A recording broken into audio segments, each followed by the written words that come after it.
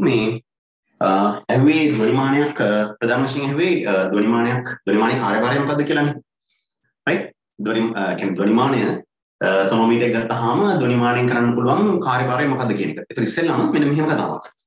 දැන් අපි මේ අපි ඒකේ පර්පස් එක කතා කරන්න කලින් අපි අරකට ආන්සර් එක ලියමු. මොකද්ද අර සමෝමීටර් කියන්නේ මොකද්ද කියලා හුවන්නේ නේද? මේ එතකොට ආයෙත් ඉස්සෙල්ලා ලියමුකෝ. මොකද්ද කියන්නේ මොකද්ද කියලා? දැන් ඔන්න මේ අපි හිතමුකෝ තන්තුවක් ගත්තා කියලා. දැන් ඔන්න මේ වගේ තන්තුවක්. මේ තන්තුවේ මේ දෙකලවර කලම්බ කරලා තියෙනවා. right? ඒ කියන්නේ fixed.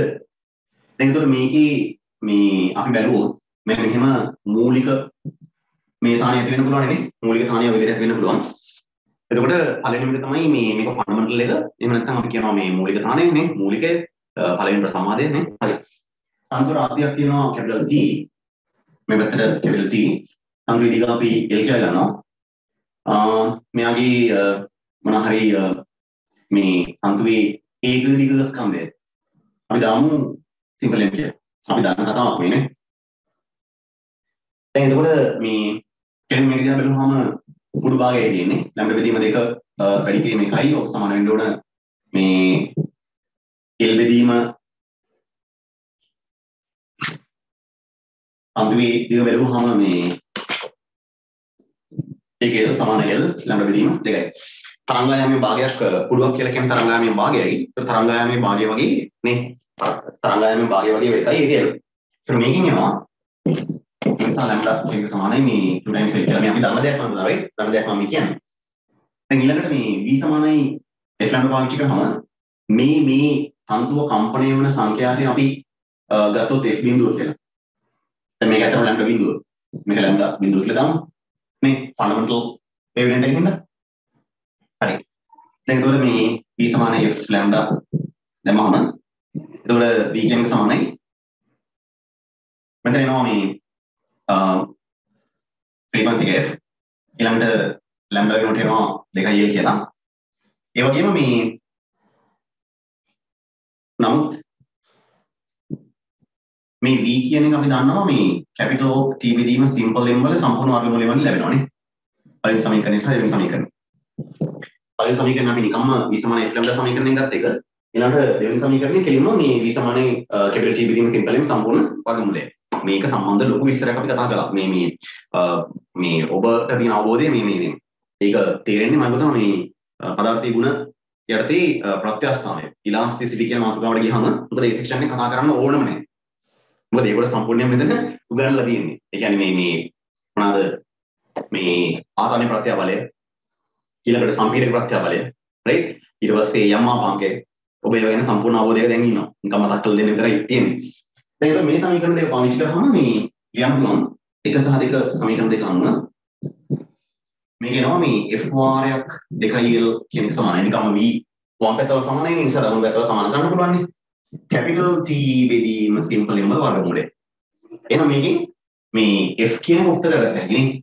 එම නිසා frequency f is equal to 1 over 2 times l whole is square root capital T over simple m කියලා ලැබෙනවා. දැන් මම තමයි f බිඳුව කියලා ගමු අපි නේ. f බිඳුව. ඊළඟ මෙතනත් f බිඳුව කියලා දාමු. එතකොට දැන් මේ මෙතන f බිඳුව. දැන් මේකේ මේ මයිබුතාලා අපි කතා කරානේ දැන් මේක මූලිකයනේ. ඊට පස්සේ අපි කතා කරා මේකේ පළවෙනි උපරිතාණය. ඒ කියන්නේ මේ ඇත්තම දෙවන ප්‍රසම්වාදය. මැදින් පෙළලා නෙමෙයි. තන්තුව මැදින් පෙළුවා නම් අනිවාර්යෙන්ම මොකෝ පළවෙනි ප්‍රසම්වාදය ඊළඟට තුන්වන ප්‍රසම්වාදය. පස්වන ප්‍රසම්වාදය, හත්වන ප්‍රසම්වාදය ආදී වශයෙන්. තන්තුව මොන විදිහකින් හරි පෙළුවොත් මේකේ මොකෝ මේක මූලිකේ ඊළඟට පළවෙනි උපරිතාණය, දෙවන උපරිතාණය, තුන්වන උපරිතාණය, පළවෙනි ප්‍රසම්වාදය, දෙවන ප්‍රසම්වාදය, තුන්වන ප්‍රසම්වාදය ආදී වශයෙන් වෙන්න පුළුවන්. දැන් මේකේ මේ පුතාලට මතක ඇති ඊළඟට අපි වැළුවොත් වෙන්නේ F1 පළවෙනි උපරිතාණය. එතකොට එයාගෙදි මෙතන දෙක දෙවාරයක් කියලා එනවා. දෙවාරයක් නේ? දෙවාරයක් මතකයි අපි දෙකෙන් දෙපැත්තම වැඩි කරලා තිබ්බා. දෙවාරයක් 1 over 12 holding square root TOM කියලා ආවා. එතකොට ඒ කියන්නේ දෙවාරයක් F බිඳුව. ඊළඟට තුන වාරයක් F බිඳුව, හතර වාරයක් F බිඳුව. පැහැදිලිද? එතකොට ඒ නිසා පොදුවේ මෙන්න මේ මේ මේක දිහා බලලා අපි ලිව්වොත් n වන උපරිතාණය කියලා. අපි යමු මේ n වන උපරිතාන සංඛ්‍යාතය.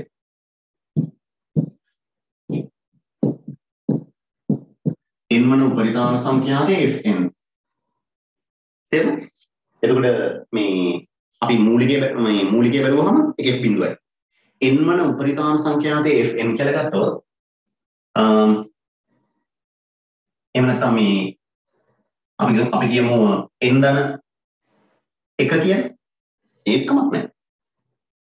පැහැදිලි? දැන් අපි මෙතන අපි එකයි කියලා කිව්වහම ඒක පළවෙනි ප්‍රසංවාදයනේ. අපි කියමුකෝ n වන ප්‍රසංවාද සංඛ්‍යාතය කියලා. මේ වැඩි හොඳයි. n වන ප්‍රසංවාද සංඛ්‍යාතය. එතකොට n වන ප්‍රසංවාද සංඛ්‍යාතය එහෙනම් එනවා fn කියන එක සමානයි n වාරයක් නේ. 1යට 2ය කැපිටල් T විදීම සිම්පල් n වල සම්පූර්ණ වර්ගමූලය කියලා. මේ පාඩේ අපිට කතා කළා right මම මේක තම මතක් කරලා දුන්නා. දැන් බලන්න මේකේ මේ n සමානයි 1 දැම්මම මූලිකේ නැත්නම් පළවෙනි සංවාදය එනවා. එතන මෙතන කෙලින්ම එකයි එකට දෙකයි l t over simple n වල සම්පූර්ණ වර්ගමූලය. දෙවෙනි සංවාදය කියන්නේ පළවෙනි උපරිතාණය. එතන මෙතන දෙකක් වෙනවා. එතන දෙක බෙදීම දෙකයි l කැපිටල් T වෙදීම සිම්පල් m. තුන්වෙනි උපරිතාණය වෙදී මේ වගේ තුන් ගුණයක්. හතරවෙනි වෙදී මේ වගේ හතර ගුණයක්. පස් වෙදී මේ වගේ පස් ගුණයක් n වෙද්දි මේ වගේ n ගුණයක් කියලා ඔය විදිහට ආවා.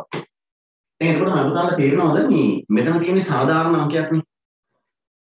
හැබැයි මේ n වල අගය මොනවා වුණත් මෙතන මේ 1 යට l ඊළඟට මෙතන වර්ගමූලය ඇතුලේ කැපිටල් T ඊළඟට මෙතන වර්ගමූලය ඇතුලේ මේ මේ හරයේ සිම්පල් m ඒගොල්ලෝ වෙනස් වෙනවද නැහැ. කිසිම ප්‍රසංවාද සංඛ්‍යාතයක් වෙනුවෙන් ඒගොල්ලෝ වෙනස් වෙන්නේ නැහැ. ඒ නිසා මේක දිහා බලලා මට පොදුවේ මෙන්න මෙහෙම කියන්න පුළුවන් නේ. මොකද්ද?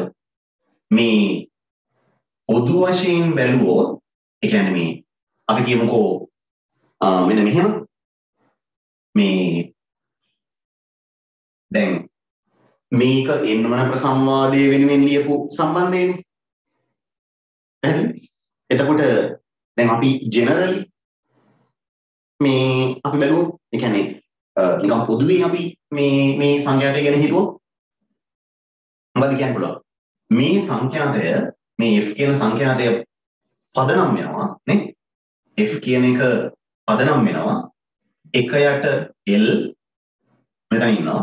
ඊළඟට සම්පූර්ණ වර්ගමූලයේ කැපිටල් T බෙදීම සිම්පල් m. පැහැදිලි නේද ඕනම සංඛ්‍යාතයක් ගන්න. ඕන ප්‍රසංවාද සංඛ්‍යාතයක් ඕනම මේ මේ උපරිදාන සංඛ්‍යාතයක් right? ඕන එකක් ගන්න. සංඛ්‍යාතය වෙනුවෙන් මොකෝ L කියන එක එකයට එන්නවා T බෙදීම සිම්පල් M කියන වර්ගමූලය ඇතුළේ ඉන්නවා පැහැදිලිද? එතකොට ඕනම සංඛ්‍යාතයක් වෙනුවෙන් මේ මේ මේ තුන් දෙනා තන්තුවේ දිග තන්තුවේ ආතතිය සහ මේ රේඛීය ඝනත්වය linear mass density එතකොට ඒක දිග ස්කන්ධය කියන මේ රාශිකම මොන විදිහට සම්බන්ධ වෙලා ඉන්නවා? දැන් එතකොට මොකද මේකෙන් කියන්න පුළුවන්? එම නිසා F කියන එක සමානුපාතික වෙන්න ඕන 1යට L ට මොකෝ හැබැයි මේ කැපිටල් T සහ M කියන ඒවා නියතව තියෙන්නේ.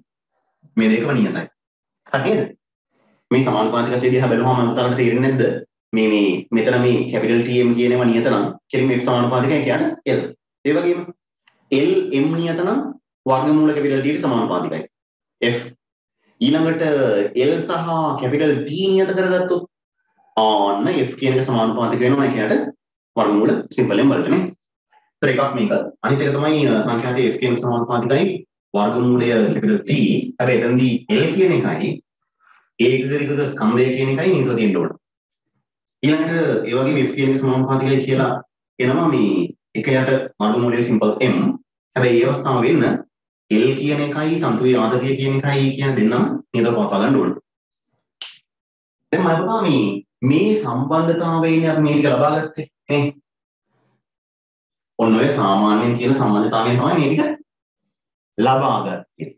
එතකොට මෙන්න මේ ලබාගත් ප්‍රකාශ තුන F සමානුපාතිකයි එකයට L F සමානුපාතිකයි වර්ගමූලයේ කැපිටල් T F සමානුපාතිකයි එකයට වර්ගමූලයේ සිම්පල් M ඔය අනිකුත් අනුරූප රාශීන් නේද තියෙන්න ඕන කියන ඔන්න ඔය සම්බන්ධතා තුන ඇඩි තන්තුවක් නැත්තම් තිර තිර ෆික්ස්ඩ් තන්තුවක් සම්බන්ධයෙන් අපි මේ කතා කළේ මේ තුන මෙන්න මෙහෙම සම්බන්ධතා තුනක් තියෙනවා කියලා මුලින්ම පෙන්වේ මර්සෙන් කියලා සයින්ටිස්ට් කෙනෙක්. වදනම් මර්සෙන්. ඒ නිසා මේ තුනට අපි කියනවා තිර තන්තුවක කම්පන පිළිබඳ මර්සෙන්ගේ නියම කියලා.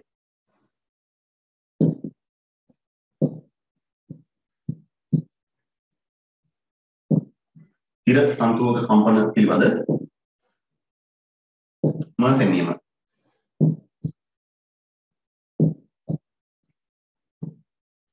Merson's law.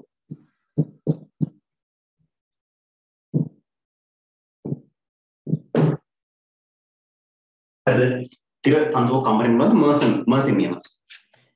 ඉතින් මේ දැන් එතකොට හදිසිය හරි අපිට ඇඩි තන්තුවක් සම්බන්ධයෙන් මේ මර්සින් නියම මොනවද කියලා ඇහුවොත් නැත්නම් තිර තන්තුව කම්පන පිළිබඳ නියම කියලා මේකට සමහරවිට කියනවා right මේ මර්සන් කියන්නේ ඒ සයින්ටිස්ට් කියනවා ඒක නැතුව තිර තන්තුව කම්පන පිළිබඳ නියම කියලා සමහරවිට මේක කෙටියෙන් කියනවා එතකොට තිරතන්තු කම්පන පිළිබඳ නියම මොනවාද? මේ නියම ලියා දක්වන්න කියලා මේ තිබ්බොත් පුළුවන් වෙන්න ඕන මේ අපිට ලියන්න මොකද්ද? සංඛ්‍යාතයේ f නම් f සමානුපාතිකයි 1 යට l. ඊළඟට එතනදී capital TM නියත වෙන්න ඕන. ඊළඟට f සමානුපාතිකයි වර්ගමූලයේ capital T. එතනදී uh, l කියන එකයි simple m කියන එකයි නියත වෙන්න ඕන. f සමානුපාතිකයි 1 යට capital M වල මේ cap simple m වල වර්ගමූලය. එතනදී capital T කියන එකයි l කියන එකයි නියත වෙන්න ඕන. හරි. දැන් මේ මේ කතාව මේ කැපිටල් D කියන ගත්තාම මම තේරෙන්න ඕන අර කිව්වේ මේ ධ්වනිමාන කම්බියේ මතකද ඔබට මම මෙතනින් පෙන්නලා කිව්වා මේ මෙන්න මේකේ මෙන්න මෙතනින් මේ මේ මේ මෙතන තියෙනවා කප්පිය මේ කප්පිය මෙහෙම තන්තුවක් දානවානේ. කම් දැන් ඔය වයර් එක කම්බියේ දාලා එතනින් අර සිදුරු සහිත පඩි කට්ටලය එල්ලනවා එල්ලනවා කියලා කිව්වනේ. අපි කියනවා ස්ලොටඩ් මෑසස් කියලා. සිදුරු සහිත පඩි කට්ටලය. ඒතර ඒ ඒ ඒ එල්ලලා තියෙන පඩි වෙනස් කරන්න පුළුවන්ද? මේ මේ ආදතිය වෙනස් වෙනවා නම් මේ ආදතිය නේද තියාගන්න ඕන නම්? බෑ. එහෙම චූටි වැඩක් කරන්න තියෙන්නේ. එහෙනම් දැන් මේ මේ මේක මේ විශේෂයෙන්ම මේ ධ්වනිමානය කියන එක පෙන්නුවේ සොනෝමීටර් එක ඔබට පෙන්නුවේ අන්න ඒ කරුණ ටික ඔලුවට යනවා දැන් කප්පිය දිගේ ඇවිල්ලා දැන් මෙහෙම ඉන්නවා එල්ලි එල්ලි මොකද්ද? අර මේ මේ මේ මේ මොනවද? සොඩන් මෑසස් නැත්නම් අර සිදුරු සහිත පඩි කට්ටලය එතකොට මේ පඩි දාපු පඩි ප්‍රමාණය වෙනස් කරන්න නැතුව තියාගන්න ඕන ආර්ධිය නිත කරගන්න නම්. ඇදලිනේ ඊළඟට සිම්පල් එම් කියන්නේ මොකද්ද? අදාළ කම්බියේ ඒක දිග ස්කන්ධය රේඛීය ඝනත්වය. එතකොට ඒක පදනම් වෙන්නේ මොකක් මතද අදාළ කම්බිය හදලා තියෙන ද්‍රව්‍යය. හදලා තියෙන කොපර් වලින්ද? කොපර් වල රේඛීය ඝනත්වය. ඒ තන්තුවේ රේඛීය ඝනත්වය. ඊළඟට තන්තුව ඒ වයර් එක හදලා තියෙන්නේ මොනවද? අපි කියමු පිත්තල වලින්ද? පිත්තල මේ සඳහා ඒ කම්බියේ රේඛීය ඝනත්වය. ඊළඟට අපි කියමුකෝ මේක යකඩ වලින්ද හදලා තියෙන්නේ. ඊළඟට අපි කියමුකෝ මේක රබර් වලින්ද හදලා තියෙන්නේ. අදාළ ද්‍රව්‍ය වෙනස් වෙන වෙනස් වෙන්න මොකද්ද? අන්න ආ ඒකක දිගක ස්කන්ධය කියන එක වෙනස් වෙනවා. එහෙනම් මේ ඒකක දිගක ස්කන්ධය නැත්නම් රේඛී ඝනත්වය කියන එක වෙනස් කරන්න මොකක් වෙනස් කරන්න ඕනද? තන්තුව වයර් එක හදලා තියෙන ද්‍රව්‍ය වෙනස් කරන්න ඕනේ. ඒ කියන්නේ මොකක් වෙනස් කරනවා කියන එකද? සම්පූර්ණයෙන් තන්තුව වෙනස් කරනවා කියන එක. තඹ වලින් හදපු තන්තුව අයින් කරලා යකඩ වලින් හදපු තන්තුව දැම්මා. සිම්පල්ෙන් වෙනස් වුණා. යකඩ වලින් හදපු තන්තුව අයින් කරලා ඉවර වෙලා මොකෝ රබර් තන්තුවක් දැම්මා. සිම්පල්ෙන් වෙනස් වුණා. රබර් තන්තුව අයින් කරලා ඉවර වෙලා මොකෝ ප්ලැටිනම් වලින් හදපු එකක් දැම්මා. සිම්පල්ෙන් වෙනස් වුණා. එතකොට සිම්පල්ෙන් වෙනස් කරන්න එහෙනම් තන්තුව වෙනස් කරන්න ඕන. ඒ කියන්නේ තන්තුව වෙනස් කරන්න ඕන කියන්නේ මේ වෙන වෙනත් ද්‍රව්‍යයකින් හදපු තන්තුවක් භාවිතා කරන්න ඕන. හරි. සිම්පල්ලෙම් නියතව තියාගන්න ඕන නම් මොකද්ද වෙන්න ඕන? ගත්ත තන්තුව වෙනස් කරන්නේ නැතුව ඒ විදිහටම පාවිච්චි කරන්න වෙනවා. පැහැදිලිද? එහෙනම් ආදිතේ වෙනස් කරන්න නැතුව නියතව තියාගන්නේ කොහොමද? පඩි ප්‍රමාණය වෙනස් කරන්න නැතුව. සිම්පල් එම් නියතව තියාගන්නේ කොහොමද? තන්තුව වෙනස් කරන්න නැතුව. සිම්පල් එල් නියතව තියාගන්නේ කොහොමද? මොනම හරි අපි අර අචල සේතු දෙක කතා කරේ. අචල සේතු ෆික්ස්ඩ් මේ මේ මේ පෙග්ස් කියලානේ අචල සේතු ඒ අචල සේතු දෙක අතරේ එක්කෝ අචල සේතු දෙක අතර සම්පූර්ණ දිග. එහෙම නැත්නම් අචල සේතු දෙක අතර තව සචල සේතුවක් පාවිච්චි කරලා මොනවා හරි අපි යම්කිසි දිග ප්‍රමාණයක් සකස් කර ගන්නවා. ඒ දිග ප්‍රමාණය ප්‍රැක්ටිකල් එක සම්පූර්ණයෙන් ඉවර වෙනකම් මොනම හේතුවක් නිසාවත් වෙනස් කරන්නේ නැත. පැහැදිලි වුණාද? එතකොට ඔන්න ඔය විදිහට අර සිම්පල් L නිරෝධය ගන්න පුළුවන්. මොකද හරිද? එතකොට මෙතන පඩි වෙනස් කරන්නෙත් නැහැ තන්තු වෙනස් කරන්නෙත් නැහැ. හැබැයි දිග වෙනස් කරනවා. ඊළඟ මෙතන දිග වෙනස් කරන්නෙත් නැහැ තන්තුව වෙනස් කරන්නෙත් නැහැ. එතකොට පඩි වෙනස් කරනවා. ඊළඟ මෙතන තන්තුවේ අපි සෙට් කරපු දිග වෙනස් කරන්නෙත් නැහැ. මොකෝ පඩි වෙනස් කරන්නෙත් නැහැ. හැබැයි සිම්පල්ලෙන් වෙනස් කරනවා කියන්නේ මොකක් වෙනස් කරනවා කියන එකද? තන්තුව වෙනස් කරනවා කියන එක. තඹ වලින් තිබ්බ තන්තුව අයින් කරා යකඩ තන්තුවක් දැම්මා. යකඩ තන්තුව අයින් කරා ඊළඟට මොකෝ රිදී වලින් තන්තුවක් දැම්මා. මේක අයින් කරා පිත්තර වලින් තන්තුවක් දැම්මා. මේක අයින් කරා ඇලුමිනියම් වලින් තන්තුවක් දැම්මා. මේක අයින් කරා රබර් වලින් තන්තුවක් දැම්මා. පැහැදිලිද? ඒතර ඒ විදිහට මේ අදාළ රේඛී ඝනත්වය වෙනස් වෙන ආකාරයට මේ තන්තුව වෙනස් කරන්න වෙනවා. දැන් මම හිතනවා එතකොට මේ සම්බන්ධතා තුන මෙන්න තිර තන්තුවක කම්පන පිළිබඳ නියම. නැත්නම් මර්සන් නියම. වඩා පැහැදිලිව කිව්වොත්. ඔබ මේ නිකමටවත් හිතුවද නිකමටවත් හිතුවද අහවල් අර ධ්වනිමානය කියන එක නිර්මාණය කළේ මෙන්න මේවා ඔප්පු කරන්න කියලා. පැහැදිලිද? එතකොට මොකද්ද ධ්වනිමානය කියන එකේ අරමුණ? මොකද්ද ධ්වනිමානය නිර්මාණය කරපු ප්‍රධාන හේතු? නැත්නම් ධ්වනිමානය හැදුවේ ඇයි? තිර තන්තුවක කම්පන පිළිබඳ නියම මොනව කරන්නද? සාධනය කරන්න. හරිද? තිර තන්තුවක කම්පන පිළිබඳ නියම ඔප්පු කරන්න තමයි මොකක් හදුවේද? ධ්වනිමානය කියන එක නිර්මාණය කළේ. පැහැදිලි වුණා? ඉතින් ඔබ තව අර අපි කියන්නේ මේ මේ ස්පයිස් කරලා මේ මේ නේ වැඩිපුරත් එක්ක කුණු බඩු අරෝමයක් දාලා රස කරලා ලියන්න ඕනේ මොකද්ද? තිර තන්තුව කම්පන පිළිබඳ මර්සෙන්ගේ නියම මේ සාධනය කිරීම සඳහා ධ්වනි මානය යොදා ගැනීම නැත්නම් ධ්වනි මානයේ ප්‍රධාන කාර්යභාරය වන්නේ කියලා දෙන එකයි තියෙන්නේ නේද? පැහැදිලි වුණාද? හරි. එහෙනම් ඔන්න ප්‍රධාන කාර්යභාරය කතා කරා. හරිද? රයිට්. එතකොට අපි දැන් අර උත්තරේ ලිව්වනේ. මේ ප්‍රශ්නේ හවනේ ධ්වනි මානය සඳහා ධ්වනි මානය යන කොහොමද? ඒ සඳහා මේ මොකද්ද රූප සමනක් ඇඳලා කොටස් පැහැදිලි කරන්න ඕන කියලා. එතකොට ඒකේ යටතේම අපි පොඩි නෝට් එකක් දානවා. ඒ නෝට් එක කියලා පොඩි නෝට් එකක් දාලා මේ මාට් එක දරාස් කරලා ඉඳන්ගෙන මේක ලියා ගන්නවා ත්‍රිතන්තුව කම්පණය පිළිබඳ මසෙන් නියම කියලා. හරිද? එතකොට මේක මෙන්න මෙහෙම ලිව්වොත් ගැටලුවක් නැහැ. මේ ගොඩක් වෙලාවට මෙන්න මෙහෙමත් භාවිතා කරනවා. ත්‍රිතන්තුවක කම්පන පිළිබඳ නියම. හරි? හුඟක් වෙලාවට මර්සන් කියන වර්ඩ් එක නේ ඔව් පාවිච්චි කරනවා මේ මේ සමහරවිට පාවිච්චි කරන්නේ නැහැ ඉතින්. නමුත් මර්සන්ගේ නියම කියලා ලියන්න පුළුවන් නම් හොඳයි ඉතින් ඔබ 100ක් ඔබ ඔප්පු කරනවා මේ අදාළ දැනුම. හරි. මේ මේක ලියාගත්තා. හරි. right. ඊළඟට මැද්දෙන් අපි ලියනවා මේ අදාළ ප්‍රශ්නෙට උත්තරේ. දැන් ඒතර අපි දන්නවා ත්‍රිතන්තෝ කම්පන පිළිබඳ නියම කියන්නේ මොකක්ද කියලා. ඒතර ඒවා සාධනය කරන තමයි ඔප්පු කරන්න තමයි මොකෝ. ඕ ධ්වනිමානය නිර්මාණය කළේ. ඊළඟට මැද්දෙන් ලියන්න තිර තන්තුවක කම්පන පිළිබඳ තිර තන්තුවක කම්පන පිළිබඳ මර්සින් නියම. තිර තන්තු මම තමයි බලන්නේ මර්සින් කියලා ලියන විදිහ ම අපෝස්ට්‍රොෆ් කියන අර උඩින් දානවා මේ පොඩි මොකද අර පොඩි කමාවක් වගේ එක අපි කියන්නේ apostrophe කියලා ඒක තමයි ඊට පස්සේ same නියම. තිරතන්තුව කම්පන පිළිබඳ මර්සින් නියම. සාධනය කිරීම සඳහා සාධනය කිරීම සඳහා ධ්වනි මානය නම් වූ ධ්වනි මානය නම් වූ සරල උපකරණය නිර්මාණය කරන ලදී. ධ්වනි මානය නම් වූ සරල උපකරණය නිර්මාණය කරන ලදී. ධ්වනිමානය නම් වූ සරල උපකරණය නිර්මාණය කරන ලදී. හරි. ඊළඟට ඊළඟට මැදින් ලියන්න. ධ්වනිමානය යනු ධ්වනිමානය යනු ධ්වනිමානය යනු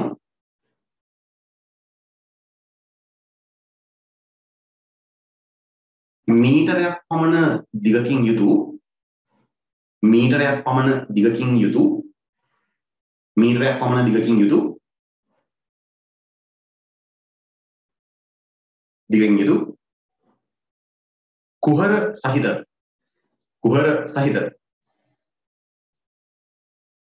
කුහර සහිත. ලී පෙට්ටියකි කුහර සහිත ලී පෙට්ටියකි නේද? දැන් ඔය ධ්වනිමානය කියන එක ඔළුවේ තිබ්බට ඔබට නිකමට හරි තිබ්බද ධ්වනිමානයේ සයිස් එක ගැන අවබෝධයක්?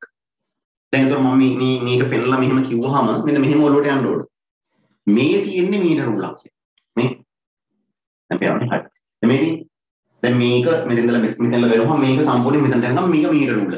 ඊට පස්සේ අනිත් එකත් මේ මෙතෙන්දලා මෙතනට යනකම් මීටර උල. දැන් ඔබට මම කිව්වහම මම තමයි බලන්නකො මේක මීටර උල. ඔබ බලන්න ක්‍රමාංකණය කරලා තියෙනවනේ. අන්න ඔය ක්‍රමාංකණය කරලා තියෙනවා. එහෙනම් ආන් එතකොට එහෙම දැන් මේක මේකත් මීටරයයි මේකත් මීටරයයි කියලා පෙන්වුවාම ඔබට හිතෙන්නේ නැද්ද? අවබෝධයක් එන්නේ නැද්ද?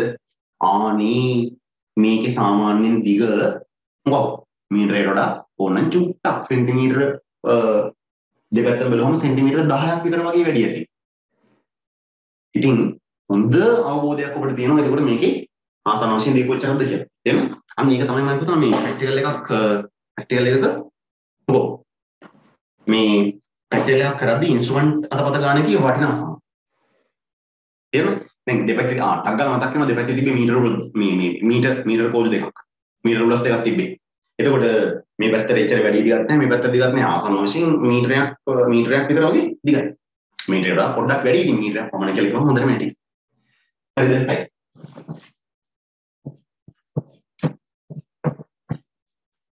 මේක මේ රූප සරහන ඇඳලා අපි ඉතුරු පාට ඊළඟ දවසේ කරමු. මේ අපි විශේෂ තියෙනවා පටන් ගන්න නේ එහෙනම් හරි. අදලා දැන් මාත් එක්කම මේ මේකේ බොක්ස් එක. මේ වගේ.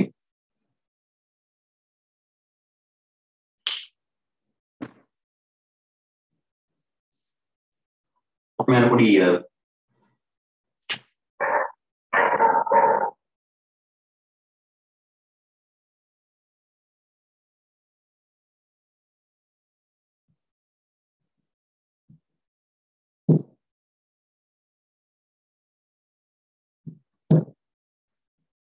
කයි දෙකයි තුනයි. මම දාන්න ඊට පස්සේ මෙතන තියෙනවා මේ දැන් මේක මතක තියාගන්න මේක පිළලා දැන් මේක ඇතුලේ කුහරයක්ද? මේක ඇතුලේ කියන්නේ මෙතන මෙතන පෙට්ටිය තියෙනවා. මෙතන තියෙනවා මේ මතු පිට. ඇතුලේ කුහරයක්. ඒක හරියට. හරි නමුත් මෙතන බේස් එක තියෙනවා. මෙතන උඩින් මොකක් හරි තිබ්බොත් ඒක පල්ලෙහාට යන්නේ නැහැ. මෙතන තියෙනවා හරි. ඊට පස්සේ මෙතනින් එනවා අපි එක පැත්තක් බැලුවොත් මේ මෙතන තියෙනවා අපිට ඕන කොහොම පොඩි වෙජ් එකක්. Right? ඒ වෙජ් එක මේක දිගේ ගියා. මොනවා? ඊට පස්සේ මෙතනින් තියෙනවා මෙහෙම කප්පයක්.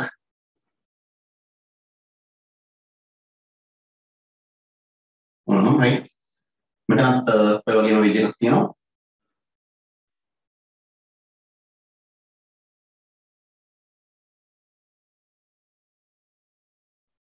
මෙතන අපිට මේ වගේ රිචක් ගහලා තියෙනවා මේ ඇණයක් ගහලා තියෙනවා මෙතනත් ඒ වගේ ඇණයක් පාවිච්චි කරලා තියෙනවා. මෙතනලා මෙහෙම මෙතනට ආවා. අන්තෝ මේක දිගේ ගියා. මෙතනට ගියා. චූට්ටක් විතර පාත් වෙලා මේ කුණේ කරා ගිහිල්ලා මේව පල්ලෙහාට සම්බන්ධ වෙනවා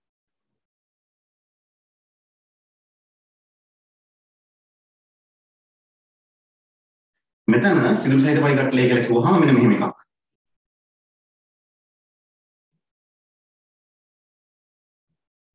වගේ එකක් right? මේක බේස් එකේ ඉඳලා ඔය විදියට මේ ඔක්කොම පඩි මේක මෙහෙම සිදුරු සහිතයි uh, අයින් කරන්න පුළුවන්. මේක මම දැන් මම දැකලා තියෙනවා නේ. ලැබ් එකේ පල්ලෙහාම තියෙන බේස් එක. ඒක අයින් කරන්න බෑ. ඒක මේ මැදින් යන කූරට සම්බන්ධ වෙලා තියෙනවා. හරි නේද? right. ඊළඟට මෙතනින් යනවා මේ තව uh, තන්තුවක්. තන්තුවක් හරි වයර් එකක් හරි right?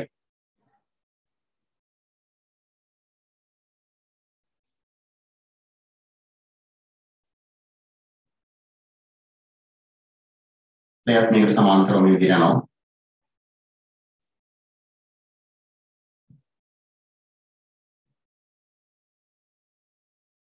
ගිහිල්ලා මේන්න මෙහෙම ඇවිල්ලා මෙතනට සම්බන්ධ කරලා තියෙන මුරිච්චියට සෙට් වෙනවා.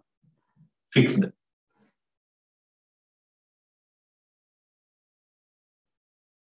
හරිද? එතකොට ඕක දිහා නිකන් ඔබ ඔතන ඉඳන් බැලුවාම නිකන් ඔබට පේනවා නම් මේක ලස්සනක්. හරි. ත්‍රිමාණ ස්වරූපයක් පේනවා. මෙතනින් මෙතනින් මේක ඇතුලෙන් බැලුවා කියලා මොකෝ මේ මෙහි කොහෙවත් පේන්නේ මෙතනින් බැලුවා කියලා මෙහි කොහෙවත් මෙහින් බැලුවා කියලා මෙහි මේක ඇතුලින් මේ එළිය පේන්නේ මොකුත් නැහැ. එමෝ මෙතන උඩ බේස් එක තියෙනවා. පැහැදිලි? ඊළඟට අනිත් එක තමයි මතක ඇතුව ෆෝ අර පරිමාණ දෙක අඳින්න ඕන. අපි දාමු මෙන්න මෙහෙම. මේ පැත්තෙන් පරිමාණයක්. කොටස් කීපයකට බෙදලා නිකන් අඳින්න එතකොට බලන කෙනෙක් දන්නවා ඔබ මේ ගැන අවබෝධයක් තියෙන දරුවෙක් කියලා.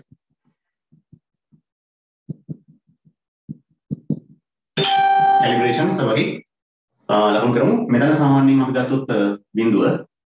මෙතනදී සාමාන්‍යයෙන් අපි කියමුකෝ 100යි කියලා ඊළඟට මම පුතා මේ මේකේ සාමාන්‍යයෙන් මේ පැත්තට ඔහොම අංකණය කරලා අනිත් එක්කෙනාව මේ පැත්ත බිඳුව අර පැත්තට සියන විදිහට තමයි මේ සකස් කරන්නේ. සාමාන්‍යයෙන් හයි කරන්නේ ඒකට හේතුව මේ මේ රූල පාවිච්චි කරලත් මොකෝ L වලට අගයක් මැන ගන්නවා. අනිත් රූල පාවිච්චි කරලත් L වලට අගයක් මැන ගන්නවා. ඊට පස්සේ මොකද කරන්නේ? මේ දෙකේ මධ්‍යණය ගන්නවා. පැහැදිලිද? හරි. අපි දැන් මේක විතර කරලා තියෙමු ඇති. ඕනනම් මේ මේ පැත්තෙන් එකක් අඳින්නත් පුළුවන් කමක් නැහැ. මේක එකක් ගන්නවා හොඳම ඇති. එතකොට මේකේ තව නම් කරන්න තියෙන මේ නම් කරන්න තියෙන කොටස් බැලුවොත් මෙන්න මේ මුරිච්චි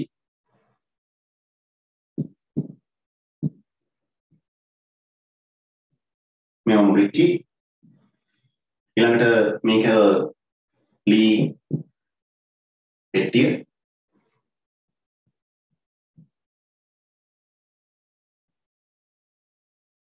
මේවා කුහර නැත්නම් සිදුරු.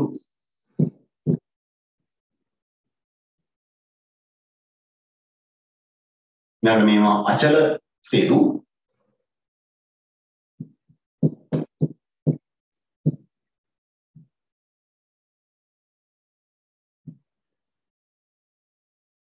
සිදුරු. සහිත. පරිමට්ටලය ඊළඟට පරිමාණය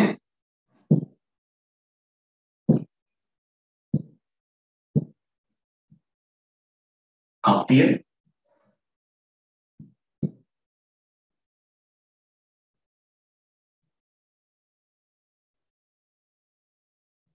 ආයෙම මෙතන තව මුරිච්චයක් තියෙනවා. මම ඊළඟට මේකේ මේ දිග වෙනස් කරන්න පුළුවන් ආකාරයට තව ඕනනම් අපිට සේතුවක් කියන්න පුළුවන්. පැහැදිලිද? ඕනනම් ඒකත් දාලා තියන්න.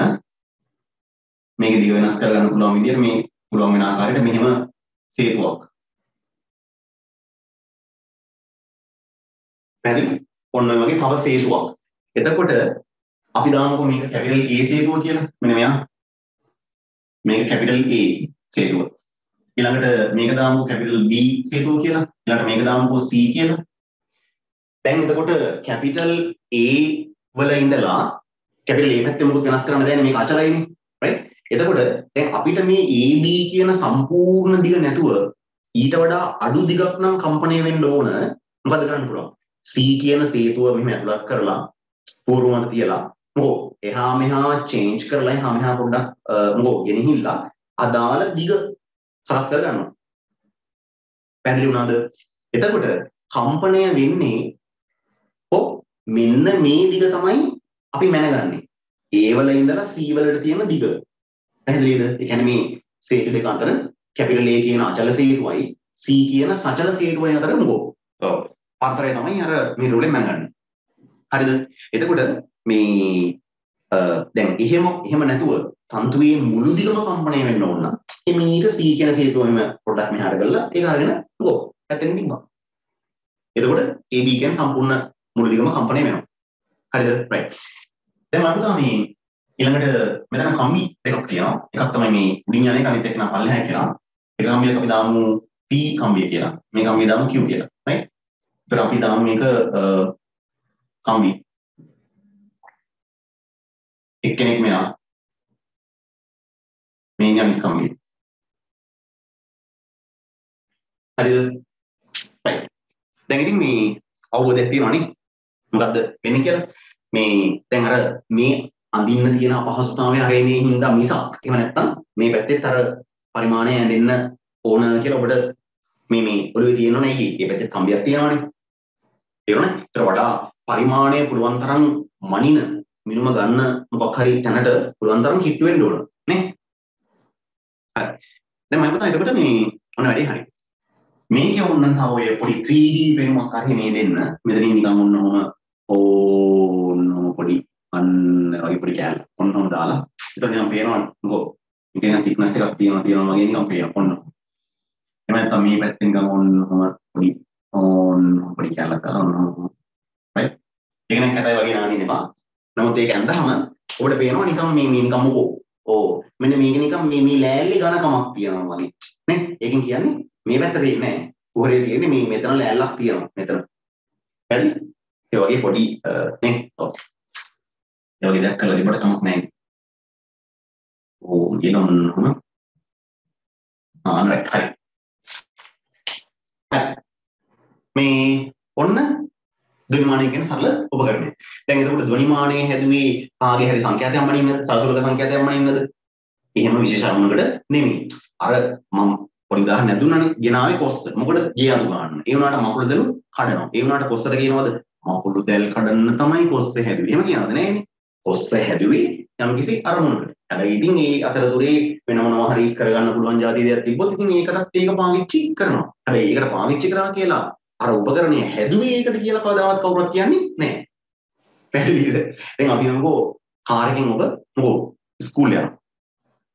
එතකොට කාර්යය යනු මොකෝ කියනවා ස්කූල් යාම සඳහා භාවිතා කරනු ලබන මොකෝ වාහනයකි. එහෙම කිව්වොත් හරියනවා. මොකද දන්නේ? පොදුවේ අපි කියන්නේ මොකද්ද? ඕ ට්‍රාන්ස්පෝර්ට් නේ. ට්‍රාන්ස්පෝර්ට් සඳහා ප්‍රවාහනය සඳහා භාවිතා කරන මේ මොකෝ ඔව් පොඩි වාහනයක් හරි. මේ වගේ නිසා මේ මතක තියාගන්න සමසුලක සංඛ්‍යාතය මනින එක තරංගායම හොයාගන්න ඒවා ඒවා මේ මේ එක එක එක එක එක එක මේකත් එක්ක කරන්න පුළුවන් තව තව දේවල් විතරයි. හරියටම ඇහුවොත් මේක ඇයි හැදුවේ මේක නිර්මාණය වුණේ ඇයි? තිර තන්තුවක කම්පන පිළිබඳ මර්සෙන් නියම මොනවා කරන්න? ඔප්පු කරන්න. සාධ මේ සාධනය කරන්න. පැහැදිලි? හරි. මේ එතකොට දැන් මම හිතනවා ඔබ උරගා බලන්න ඕනේ ඔව් මම මේක කරලා තිබ්බාද නැද්ද? ඔව් මම මේක කරලා තිබ්බා හැබැයි මේක ඇත්තටම හරියටම කරලා තිබ්බද? ධ්වනිමානය කියන එක නම් මම දන්නවා හැබැයි ඒක ධ්වනිමානය ඒකට නමින් තමයි. ඇත්තටම පර්පස් එක මොකද්ද කියලා මම දැනගෙන හිටියේ නෑ. එක්කම දැනගෙන හිටියා. දැනගෙන හිටියා නම් හරියට හරි. දැනගෙන හිටියේ නැත්තම් දැන් නම් දැනගත්තේ. මතක තියාගන්න අනිත් ඒවත් ওই විදිහටම යාවි. තේරුණා? එතකොට ඒ නිසා මම හිතුවා මේ ඉගෙන ගන්න හැමතිස්සෙම ඒ ඒ හරි ට්‍රැක් එකේ යන්න මොකද හේතුව මේ දේ රිපීට් වෙවි ගියොත් අවසානයේ මොකද වෙන්නේ? අන්තිමට ඔව් අර නිකම් බොරුවට දඟලන තමයි වෙන්නේ තේරුම් නැතුව. එයි පේන්න නෝට්බුක්ස් තිබ්බට ඒවා මේවා තිබ්බට මෙතනට ගිහිල්ලා නෑ. හැබැයි වැඩි තියෙන එක්සෑම් එක ආවම අර නෝට්බුක් එකක්වත් කොලයක්වත් අඩුම ගානේ මේ මේ මේ ඔය මොනවාද ඇඩ්මිෂන් එකයි ID එකයි ඇරෙන්න මේ පැන්සල් එක අර මේ ටික ඇරෙන්න පෑන් දෙක ඇරෙන්න මොකෝ වෙන මොකක්ද ගෙනියන්න අවස්ථාවක් ලැබෙන්නේ නැහැ. ඉතින් ඒ නිසා මේකට කොච්චරද දාගන්නේ? මේකට කොච්චර අවබෝධ කරගන්නවද ඒ ටික තමයි ඔබට ගෙනියන්න හම්බෙන්නේ. අනිත් එක මාර වැඩේ කියන්නේ මේකේ කොච්චර දැම්මත් ඈ කිසිම ඒගොල්ලෝ කිසිම සීමාවක් දෙන්නේ නැහැ මේකේ දාගන්න පුළුවන් ප්‍රමාණයට. ගිගාබයිට් මෙච්චරයි ඔයාලට දාගන්න පුළුවන්. එහෙම එකක් තියෙනවද? නැහැ. ඔබට කොච්චර දාගන්න පුළුවන්ද? ඕන තරමක් දාගෙන අරන් යන්න පුළුවන්. තේරුණාද? හරි. නෝන හරි ඊළඟට මේ අපි ඊළඟුරින් එක එක කොටසේ මේ මොනවද කාර්යභාරයක් හැදි කරන්න යන්නේ රයිට් හරි ඊළඟුරින් මෙතන එන්න යන කැපිටල් A සහ B යනු කැපිටල් A සහ B යනු කැපිටල් A සහ B යනු අචල සේතු දෙකකි. කැපිටල් A සහ B යනු අචල සේතු දෙකකි. අචල සේතු දෙකකි. අචල සේතු දෙකකින් P සහ Q යන P සහ Q යන කම්බි.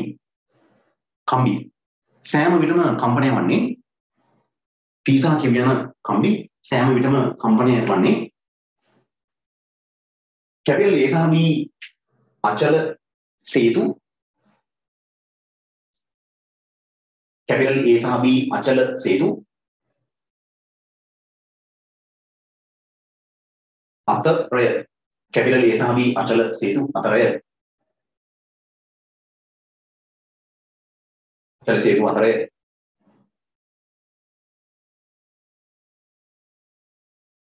Q කම්බිය Q කම්බිය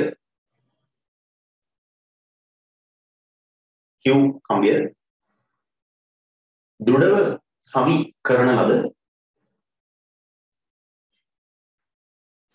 Q කම්බිය දෘඩව සවි කරන ලද මුරිච්චි දෙකකට මුරිච්චි දෙකකට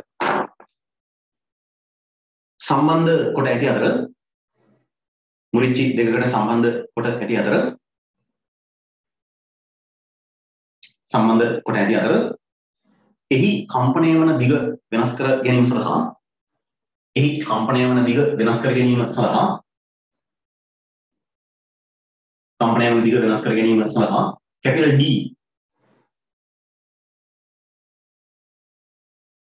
කැපිටල් D සචල සේරුව කැපිටල් D සචල සේරුව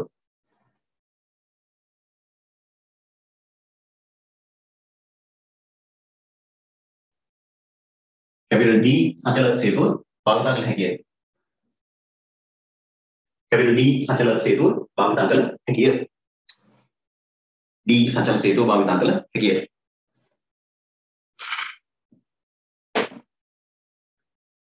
AB කම්බිය මම තා AB නෙමෙයි අපි ඒක P කියලා ගමුනේ. අපි අර නම දැන් මේ P කියලානේ.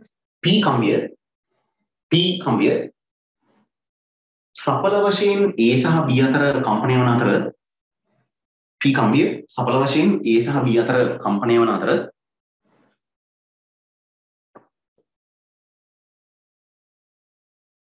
P කම්බිය සඵල වශයෙන් A සහ B අතර කම්පණය වන අතර කියලා තමයි දාන්න එය සැහැල්ලු කප්පියක් මතින් දමා එය සැහැල්ලු කප්පියක් මතින් දමා සිදුරු සහිත පඩි කට්ටලයට සම්බන්ධ කොට ඇත. සිදුරු සහිත පඩි කට්ටලයට සම්බන්ධ කොට ඇත. පඩි එක්කිරීමෙන් තන්තුවේ ආතතිය වැඩි කළ හැකි අතර පඩි ඉවත් කිරීමෙන් තන්තුවේ ආතතිය අඩු කළ හැකිය. පඩිය කිරීමෙන් තන්තුවේ ආතතිය වැඩි කළ හැකි අතර පඩි ඉවත් කිරීමෙන් තන්තුවේ ආතතිය අඩු කළ හැකිය. අඩු කළ හැකිය. අවබෝධ හරි. ඊළඟට මේ ඊළඟ වෙල මැද්දෙන් ප්‍රධාන කතාවක් ලියන්න ඕනේ මේ විශේෂයෙන්ම පාස් පේපර් එක පාස් පේපර්ස් වලට ආන්සර් ගන්න මේ පේපර් 2 part එකේ මෙන්න මේ වගේ කතාවක් දැනගෙන ඉන්න ඕනේ. ඇයි මේ සිදුරු තියෙන්නේ? මම තමයි ඒක ප්‍රධානම හේතුව. මොකද මේ මේ කම්බි කම්පණය වෙනකොට අපි දන්නවනේ වයලින් එකේ සීන් එක අපි කතා කළානේ ගිටාර එකේ සීන් එක ඒකමයි. අර අපි මේ මේ මේ මේ වෙන් කරගත්ත හිර කරගත්ත වාත ප්‍රමාණයක් හැබැයි හොඳින් කම්පණය වෙන කම්පණය වෙන්න මොකද වෙන්න ඕනේ? දැන් මේක සම්පූර්ණයෙන්ම වහලා තිබ්බනම් ඇතුළින් එක කම්පණය වුණා කියලා එළියෙන් කට්ටිය දන්නවද නැහැ මම මොන මොන මියුසිකල් භාණ්ඩයේද මොන සංගීත භාණ්ඩයේද අභ්‍යන්තරයේ විතර කම්පණය වෙන්නේ. ඒ කියන්නේ එළියට නිරාවරණය වෙන්නේ නැතුව අනිවාර්යයෙන්ම තියෙන්නේ මේ වගේ එක්ස්පෝෂර් එකක් තියෙන්නේ බෑ. එක්ස්පෝස් වෙලා තියෙන්නේ බෑ. ඇයි? නැත්තම් ඒ කම්පණය වීමෙන් ඇති කරන ධ්වනි තරංගය කොහොමද මේ මේ වායු වලට උදාහරින්නේ? අපේ කන් වලට එන විදියක් නැහැ. ඉතින් ඒ නිසා මෙතනදි වෙන්නේ අර මේ මේ තන්තු කම්පණය වෙනකොට ඒ ඒ ඒ තන්තුවේ කම්පනයත් එක්ක මේ මේ මේ ලී පෙට්ටිය ඇතුළේ තියෙන වාතකද ඕ කම්පණය වෙලා මොකද වෙන්නේ මේ මේ සිදුරු වලින් ඔය හොඳින් කම්පණය වන ශබ්දය නිකුත් කරනවා. ඇතර මෙන්න මොකද මේ කම්පණය ඇම්ප්ලිෆයි කරලා දෙනවා වර්ධනය කරලා දෙනවා. පැහැදිලිද? ඉතින් අපි ඔය ඒකයි ඒක තමයි අපි ඔයකට කියන්නේ සවුන්ඩ් බොක්ස් එක කියලා. සාමාන්‍යයෙන් අපි ඔයකට කියන්නේ ඔය ගිටාර් වල ඊළඟට වයලින් වල නේ ඒ කැලට අපි කියන්නේ මොකක් කියලාද? සවුන්ඩ් බොක්ස් එක කියලා. ඉතින් ඕක නැත්තම් ඔය ගොඩක් වෙලාවට මම පුතා ඉලෙක්ට්‍රිකල් ගිටාර්ස් වල බලන්න මේ වගේ බොක්ස් එකක් නැහැ. නිකන් අර මේ නිකන් අර ඒ පැටිය වගේ එක විතරයි තියෙන්නේ. නේ ප්ලේට් එක වගේ විතරයි තියෙන්නේ ඒකත් නිකන් තියෙන්නේ අර මොකෝ හැන්ඩල් කරගන්න ලේසි වෙන්න. ඉතින් මේ සමහර ඒවායි ඇත්තම නෑ නිකම්ම නිකම් මේ වගේ ස්ටෙම් එක විතරයි තියෙන්නේ මේ වයර්ස් තියෙනවා. ඒවා කෙලින්ම මොකෝ ඔව් ඉලෙක්ට්‍රිකලි ඔපරේටඩ් ඇන්ඩ් සමහර වෙලාවට මොකක් හරි ඒ ඒ සිග්නල් එක පික් අප් කරගන්න මේ මයික්‍රොෆෝන් එකක් හරි මොකක් හරි ඒ කිට්ටුවට සම්බන්ධ කරලා ඒක ඇම්ප්ලිෆයර් එකට දීලා ඇම්ප්ලිෆයර් එකෙන් මොකෝ අන්තිමට ඒක ලවුඩ් ස්පීකර් එකට සම්බන්ධ කරලා තියෙනවා. හරිද? රයිට්. ඉතින් අපි ඔය ඇම්ප්ලිෆිකේෂන් පාර්ට් එක ගැන ඉලෙක්ට්‍රොනික්ස් වලදී චුට්ටක් කතා කරමු. රයිට්. දැනට හරි. හරි. ඊළඟට යන්න. ලී පෙට්ටිය ලී පෙට්ටිය ලී පෙට්ටිය භාවිතා කිරීම නිසා ලී පෙට්ටිය භාවිතා කිරීම නිසා කම්බිවල කම්පනයන් කම්බිවල කම්පනයන් කම්බිවල කම්පනයන්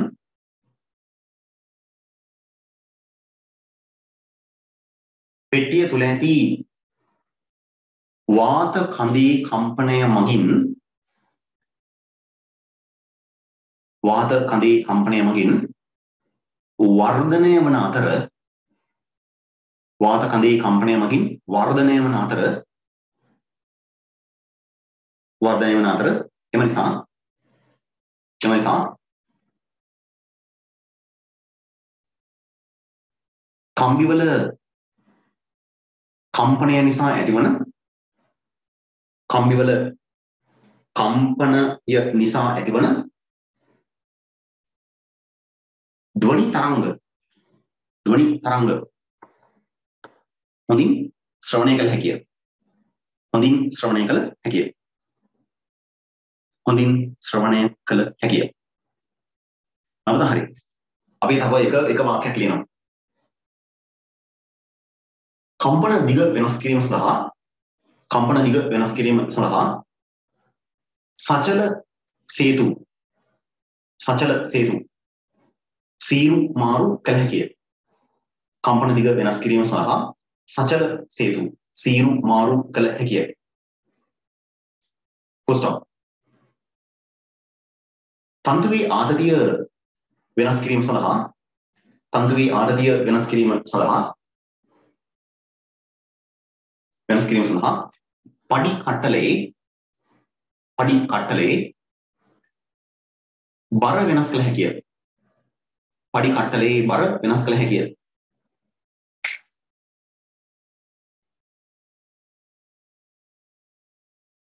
තන්තුවේ රේඛීය ඝනත්වය වෙනස් කිරීම සඳහා තන්තුවේ රේඛීය ඝනත්වය වෙනස් කිරීම සඳහා වෙනස් කිරීම සඳහා තන්තුව. තන්තුව. වෙනස් කළ හැකිය. තන්තුව වෙනස් කළ හැකිය. උදාහරණයක් ලෙස උදාහරණයක් ලෙස උදාහරණයක් ලෙස නයික්‍රෝම් නයික්‍රෝම්. මම තමයි ඕන ලියන නික්‍රෝම් කියලා right? ඒ දෙකම පාවිච්චි කරනවා. හරියට නිකන් අපි අර අපි කියන්නේ මේ මේ මොනවාද? Simultaneous simultaneous scheduling scheduling. මොන දෙකම කියනවනේ. හරි. මේ මොනවාද? Um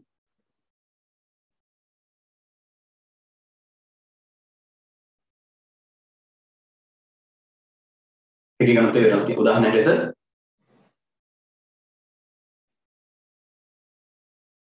උදාහරණයක් ලෙස නයික්‍රෝම් වලින් තනා ඇති නයික්‍රෝම් වලින් තනා ඇති P කම්බිය. අපි ඉන්න ලියනවා නයික්‍රෝම් වලින් තනා ඇති P කම්බිය. එකමදන් කොන්ස්ටන්ටන් කොන්ස්ටන්ටන්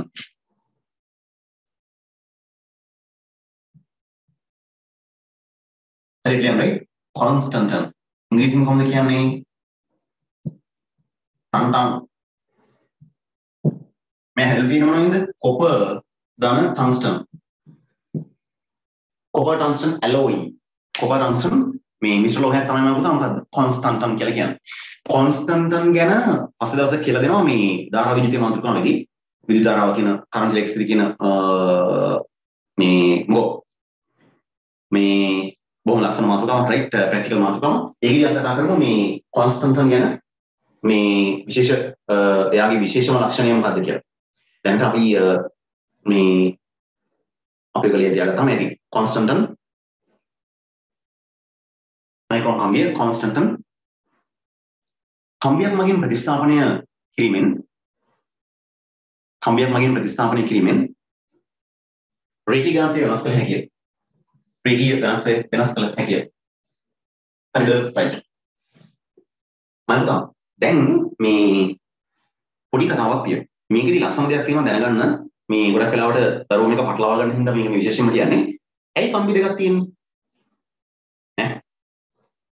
ඉන්න උත්තර දෙන්න ඕනේ. ඇයි කම්බි දෙකක් තියෙන අපි දාමුද මේවා? මොනවාද මයික් මයික්‍රොෆෝන්ස් alright. මොන දැන් මේ හරි. දැන් කැමති පරිදි කතා කරන්න පුළුවන් right? කැමති පරිදි නෙමෙයි අතරම කොහොමද? උචිත පරිදි කතා කරන්න ඕන. මේ මොනවාද කියන බලන්න මේ ඇයි ඇයි ඇයි ඇයි කම්බි දෙකක් තියෙන්නේ? එකක් තිබ්බාම ඇති. කම්බි දෙකක් තියෙනවා ඒ විතරක් නෙමෙයි අනිත් කම්බිය එක කම්බියක විතරයි වෙනස් කරන්න පුළුවන්. අනිත් එකගේ වෙනස් කරන්න බෑ. මොකද්ද? ආදිතී වෙනස් කරන්න බෑ. දිග ඉතින් හරි මේ මේ සේතුව D එහාට මෙහාට කරාම ඉතින් කො ඔය කම්පැනි වල වෙනස් කරගන්න පුළුවන්. හැබැයි ආදිතී වෙනස් කරන්න බෑ. පැහැදිලිද? ඒතර ආදිතී වෙනස් කරන්න බෑ. ඒ වගේම මේ මොකෝ ඒ ඒ කම්බිය මේ මේ කම්බිය තනා තිබෙන ද්‍රව්‍යයත් එහෙමමයි. ඒ කියන්නේ අපි කියමුකෝ මොන හරි තඹ වලින් හදපු කම්බියක් කියලා. එක්කෝ මේ මේ මේ මේ මේ මැංගනීන් වලින් වලින් හදපු කම්බියක් කියලා. ඒක එහෙමම තියෙනවා. ඕනනම් ඉතින් ගලවලා අපිට වෙනස් කරන්න පුළුවන්. නමුත් ඒ එහෙම වෙනස් කරන එක මොකෝ ධ්වනිමානයේ අරමුණක් නෙමෙයි. හරි? එහෙම වෙනස් කරන්න ධ්වනිමානය ධ්වනිමානය ධ්වනිමානය කියන එකේ කාර්යභාරයක් නෙමෙයි මේ මේ මේ මෙන්න මෙයා Q කියන තනුව වෙනස් කරන එක. වෙනස් කරන කියන්නේ යාගේ මේ මේ මේ එයා තමා තිබෙන ද්‍රව්‍ය වෙනස් කරන එක ඊළඟට ඒ තන්තුවේ ආජනීය වෙනස් කරන එක ඒවා මේ අපිට කොහොම හරි කරන්න පුළුවන් එක ඇත්ත. නමුත් ඒක ඔව් practically not recommended. practically අපි practically අපි ඒ ඒ වැඩේට යන්නේ නැහැ. මොකද හේතුව එහෙම එහෙම එහෙම යන්න අවශ්‍යතාවයක් නැහැ. හරියට නිකන් මේ මේ කාර් එකකින් හදට යන්න කතා කරනවා වගේ වැඩක් නෙමෙයි. මොකෝ කාර් එකත් වාහනයක්. එහෙම තිබ්බ එහෙම වාහනයක් වුණා කියලා හදට යන්න පුළුවන්. ඒ වගේ වැඩක්. හරිද? මොකක් හරි කරලා මේක වෙනස් කරන්න පුළුවන් හැබැයි උනාට ඒක අපි අපි බලාපොරොත්තු වෙන මම තා කාර්යභාරයක් නෙමෙයි. හරිද? right. දැන් මේ මේකයි. කම්බි දෙකක් තියෙන්නේ මෙන්න මේක. P කම්බිය ඒක අපට ඕන ඕන දේවල් කරගන්න. ඒ කියන්නේ ඕනනම් කම්බිය වෙනස් කරනවා. රේඛී ගණන්තය වෙනස් වෙනවා. ඕනනම් ආදිතය වෙනස් කරනවා එතකොට මොකෝ පරිගාන වෙනස් කරනවා ඊළඟට ඕනනම් මේකේ මොකෝ on දිග වෙනස් කරගන්නවා මේ මේ C කියන සචල සේතුව එහා මෙහා කරලා. හරිද? එතකොට අර මේ මේ Q කියන කම්බිය තියෙන්නේ. ආ ඔය කම්බිය තියෙන්නේ මොනම හරි සංඛ්‍යාතයකින් මේ මෙන්න මේ P කියන කම්බිය කම්පනය වෙනව නම් ආන්න ඒ කම්පන සංඛ්‍යාතය මොකෝ මේ මේ මේ මේ කම්බියේ ඇති කරගන්න තේරුණාද? කොටින්ම කියනවා නම් මේ P කියන කම්බිය යම් සංඛ්‍යාතයකින් කම්පණය වෙනවා නම් ආන්න ඒ ඒ ඒ ඒ කම්පනත් එක්ක අනුනාද වන පරිදි මොකෝ අන්න Q කම්බිය සකස් කර ගන්නවා. පැහැදිලිද මම කියන දේ? එතකොට මම පුතා බලන්නකෝ මේකේ ප්‍රයෝජනය මොකද්ද කියලා. දැන් මෙයා කම්පණය වෙනවා. එතකොට එයා යම් කිසි දෙයකින් කම්පණය වෙනවා කියන්නේ. ඒතර ඒ කම්පණය වෙන සංඛ්‍යාතයෙන් ඒ ඒ සංඛ්‍යාතයත් එක්ක අනුනාද වෙන විදිහට අපි මෙයාව භාවිතා කරනවා. ඒ කියන්නේ මේ මේක මේකේ දිග එහා මෙහා කරන්න ඉච්චරනේ කරන්න පුළුවන්. මේකේ D D කියන සචල සේතුව එහා මෙහා කරලා මම මෙයාගේ මේ මේ මෙන්න මේ කම්පණය වෙන දිග වෙනස් කරලා මේ හරි අනුවාද කරගන්න අනුවාද අවස්ථාවක් ලබා ගන්නවා. කාත් එක්කද? මේ කම්බියත් එක්ක. එතකොට මොකද්ද වාසිය ඒකේ තියෙන? මේ කම්බියේ මේ දිග වෙනස් කළත් සචල සේතුව වෙනස් කරා. මේකේ මොකෝ? ආන්න. පඩි වෙනස් කරත් තන්තුව වෙනස් කරත් තාමත් අර අර ඉස්සෙල්ලා ලබාගත්ත සංඛ්‍යාතය අපිට තාම තියෙනව නේද මේ මේ මේ කම්බියේ? අන්න වැඩේ. පැහැදිලි ඒ නිසා P කම්බියේ කම්පනය මගින් කම්පන මගින් ලැබෙන කියන්නේ P කම්බියේ කම්පන P කම්බියේ කම්පනය වෙන්නේ මොන සංඛ්‍යාතයෙන්ද? ඒ සංඛ්‍යාතය මොකෝ? අපි මෙහෙම කියමු. කොපි කරලා පේස්ට් කරගන්න. මේක ටුක් ගාලා කොපි කරා මෙතන පේස්ට් කරා. කට් කරා නෙමෙයි. කොපි කරලා පේස්ට් කරගත්තා. දැන් මොකෝ? මෙතනක් තියෙනවා මෙතනක් තියෙනවා. ඕන දෙයක් මෙයාට කරන්න පුළුවන් අපිට නිදහස් තියෙනවා. ඇයි ඒ? මොකද අපි ලබාගත් සංඛ්‍යාතේ මෙතන තියෙන හින්දා. ඒක කොපි එකක් දාගන්න එක තමයි අන්න නැත්තම් මේ අර Q කම්බිය භාවිතා කරන එකේ වාසිය. පැහැදිලිද? ඉතින් එතකොට අපිට පුළුවන් මේ මොකද්ද? මේකේ සංඛ්‍යාතය එහා මෙහා වුණා මොන හරි හේතුවක් නිසා වෙනස් කරන්න වුණා. එයාගේ සංඛ්‍යාතය කොහොම මේ කම්බිය භාවිතා කරලා ආයි ලබා ගන්න. පැහැදිලිද? right. ඉතින් ඕක තමයි අර Q කම්බිය භාවිතා කරන්නේ නැත්නම් අපි කියන්නේ මේ දිග වෙනස් කළ නොහැකි. දිග කියන්නේ මේ මේ මොකද්ද? ආදිදී වෙනස් කළ නොහැකි. එහෙම නැත්නම් තන්තුව තන්තුවේ රේඛී ඝනත්වය වෙනස් කළ නොහැකි කම්බියක් භාවිතා කරන එකේ වාසිය. අර මේ වෙනස්කම් වෙනස්කම් සිදු කළ හැකි කම්බියේ මොකෝ සංඛ්‍යාතය මේ ලබා ගැනීම සඳහා. පැහැදිලිද? අපි කියනවා මේ සංඛ්‍යාතය මේ P කම්බියේ සංඛ්‍යාතය පිටපත් කර ගැනීම සඳහා මොකෝ Q කම්බිය භාවිත කරන්න ලැබේ. පැහැදිලි වුණාද? ඕකේ good. ඉතින් ඔන්න මේ මේ ඒ සිද්ධිය අපි කතා කරා. දැන් මේ ඊළඟට පොඩි දෙයක් තියෙනවා මේ මේ මේ මෙයාව පාවිච්චි කරලා මෙන්න මේ මේ ධ්වනිමානය දැන් අපි කතා කරමු ධ්වනිමානය භාවිත කරලා අපි ඔය කියපු මේ තිරතන්තුව කම්පන පිළිබඳ මර්සන්ස් ලෝ කියන්නේ මේ මර්සන්ගේ නියම මේ ඔප්පු කරන්නේ කොහොමද කියන කතාව. ඔය F සමානුපාතිකයි කියලා යට L ඒවා මේවා මෙන්න ප්‍රතිටක් ගාලා පෙන්වන්න පුළුවන්. හරි. අපි මේ ප්‍රැක්ටිකල් එක ඊළඟ දවසේ කතා කරමු. ඊළඟ දවස් කියන්නේ සඳුදා උදේ. හරි. ඒ කලින් ඊළඟ මුල මැද්දේ මෙන්න මේ කතාව ක්ලියර් දියමු. කියන්නේ මේ මම ඊළඟ ක්වෙස්චන් එක අපි දාමු මේක මොකද්ද? Q&A fast track approach ඒකේ ඊළඟ නම්බර එක දන්න ධ්වනිමානයක් ධ්වනිමානයක් සාමාන්‍යයෙන් ධ්වනිමානයක් සාමාන්‍යයෙන් ඉහත රූපයේ දැක්වෙන පරිදි ඉහත රූපයේ දැක්වෙන පරිදි P සහ Q P සහ Q කම්බි දෙකකින් සමන්විත වේ P සහ Q කම්බි දෙකකින් සමන්විත වේ මෙසේ මෙසේ කම්බි දෙකක් භාවිතා කිරීමේ ඇති වාසිය කුමක්ද? මෙසේ කම්බි දෙකක් භාවිතා කිරීමේ ඇති වාසිය කුමක්ද? වාසිය කුමක්ද? හරි. මම තමයි ඊළඟ ප්‍රශ්නේ අපි උත්තරය ලියනවා. ධ්වනිමානයේ P කම්බිය ධ්වනිමානයේ P කම්බිය. ධ්වනිමානයේ P කම්බිය. දෙන ලද තත්ත්ව යටතේ දෙන ලද තත්ත්ව යටතේ කම්පනය කරවීමෙන් කම්පනය කරවීමෙන් ලැබෙන සංඛ්‍යාතය දෙන ලද තත්ත්ව යටතේ කම්පනය කරවීමෙන් ලැබෙන සංඛ්‍යාතය ලැබෙන සංඛ්‍යාතය?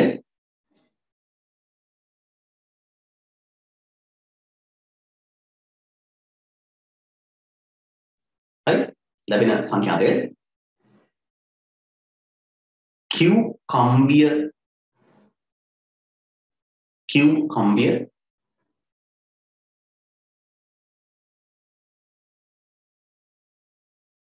සඳහාද ලබාගත හැකිය. Q කම්බිය සඳහාද ලබාගත හැකිය.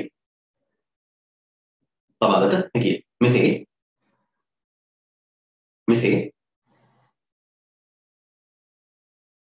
P කම්බියේ සංඛ්‍යාතය P කම්බියේ සංඛ්‍යාතය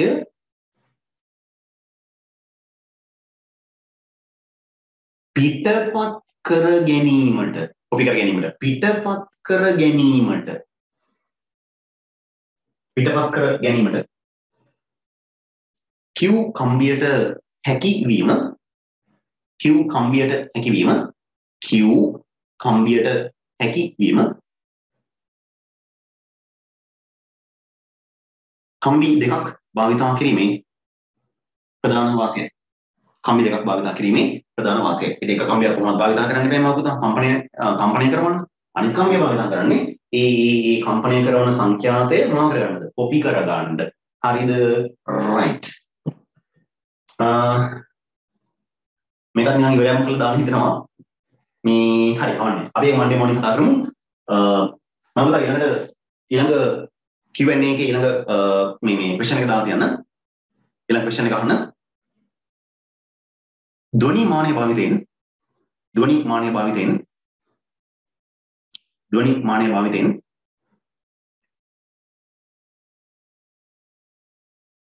තිරතන්තුවක කම්පන පිළිබඳ නියම සාධනය කිරීමේදී තිරතන්තුවක කම්පන පිළිබඳ නියම තිරතන්තුවක කම්පන පිළිබඳ නියම සාධනය කිරීමේදී සාධනය කිරීමේදී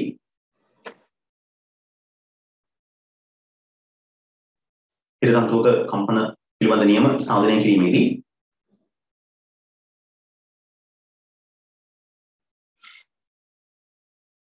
සාධනය කිරීමේදී කම්බි සුසර කිරීම සඳහා කම්බි සුසර කිරීම ටියුන් කම්බි සුසර කිරීම සඳහා භාවිතා කරන කම්බි සුසර කිරීම සඳහා භාවිතා කරන ප්‍රධාන ක්‍රම මොනවාද? කම්බි සුසර කිරීම සඳහා භාවිතා කරන ප්‍රධාන ක්‍රම මොනවාද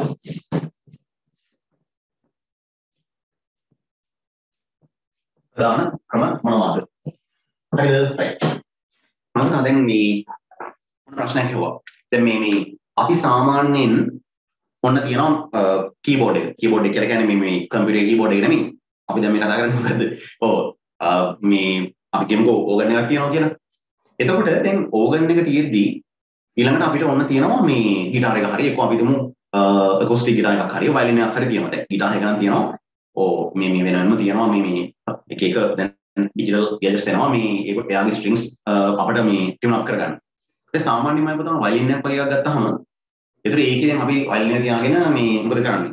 දැන් අර අපි කියමු C C එක කියලා C note එක කියලා කාටද කියනවා අරගේ C එක ඔබාගෙන ඉන්න කියලා. එතකොට ඒ මේ කණෙන් අර කණෙන් මේ මේ කණෙන් අර අර එන නෝට් එක අහගෙන ඉන්න අතරේ මොකෝ මේකේ C කියන්නේ සා කියන එක සා කිකේ මේක මේක බෝ එක මෙහෙම කර කර මේ මේ මේක කියන්නේ මේවා මේ කම්පණය කර කර මේ කණෙන් අහනවා. තේරුණාද? අර කනට ඇහෙන මේ C note එක මේ කනට ඇහෙන එක වගේම වෙනකම් මොකෝ අර කෙලවරේ තියෙන අන්න මුරිච්ච මේ ඇනේ කරකවලා එහාට මෙහාට කරලා මොකෝ අර පැත්තට කරකවලා මේ පැත්තට කරකවලා ආතතිය කම්බිය කම්බිය ආතතිය වෙනස් කරලා හරියට මේ ඒකට ගන්නවා. ඒ සංඛ්‍යාතයට ගන්නවා. හැබැයි ඔය විදියට කරන්න මේ කන් දෙක සාමාන්‍යයෙන් සංගීතය ගැන හොඳට හොඳ අවබෝධයක් තියෙන කන් දෙකක් වෙන්න ඕනේ. මම හිතුවා ඒ වගේ මේ මේ සංගීතයට හුරු කරවන ලද කනක් කියලා ඔකට සිංහලෙන් කියනවා. ඉංග්‍රීසියෙන් කියනවා මේ අපි මියුසික් ඉයර් කියලා. තේරුණාද? එතකොට අන්න ඒ විදිහට මේ අපි සාමාන්‍යයෙන් ඔය ටියුන් කරන්න පාවිච්චි කරන ක්‍රම තුනක් තියෙනවා. එකක් තමයි මේ අපි කියනවා මේ මොනවාද ශ්‍රවණින් ශ්‍රවණින් සුසර කිරීම. එතකොට අපි මේකට කියනවා මේ tuning by tuning by hearing නැත්නම් listening. ඊළඟට අංක දෙක නුගැස්සුම් ඇසීමෙන් නුගැස්සුම්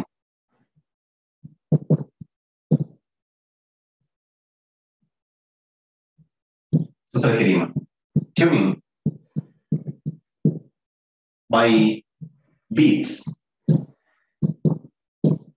ඊළඟ තුන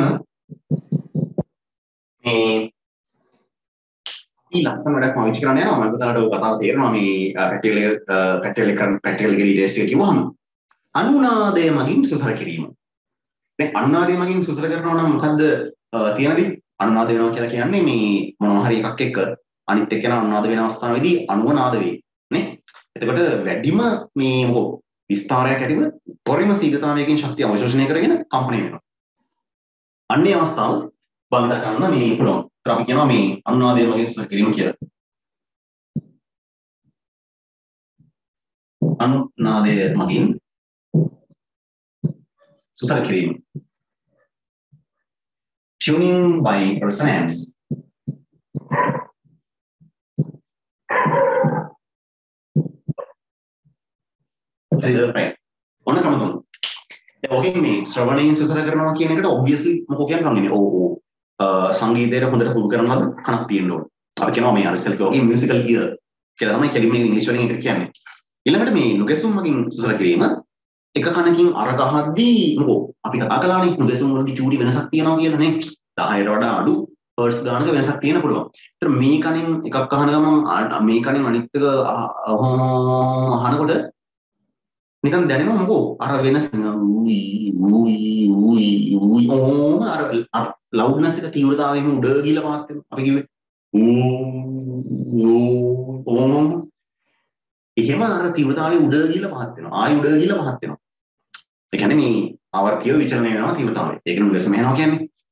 හැබැයි මේ දෙකේ සංඛ්‍යාත දෙක ඉතාම ආසන්න වශයෙන් සමාන වුණොත් ඒ ඒ ඒ මොකෝ අර එහෙම එන ස්වභාවය ඉතාම අඩු වෙනවා.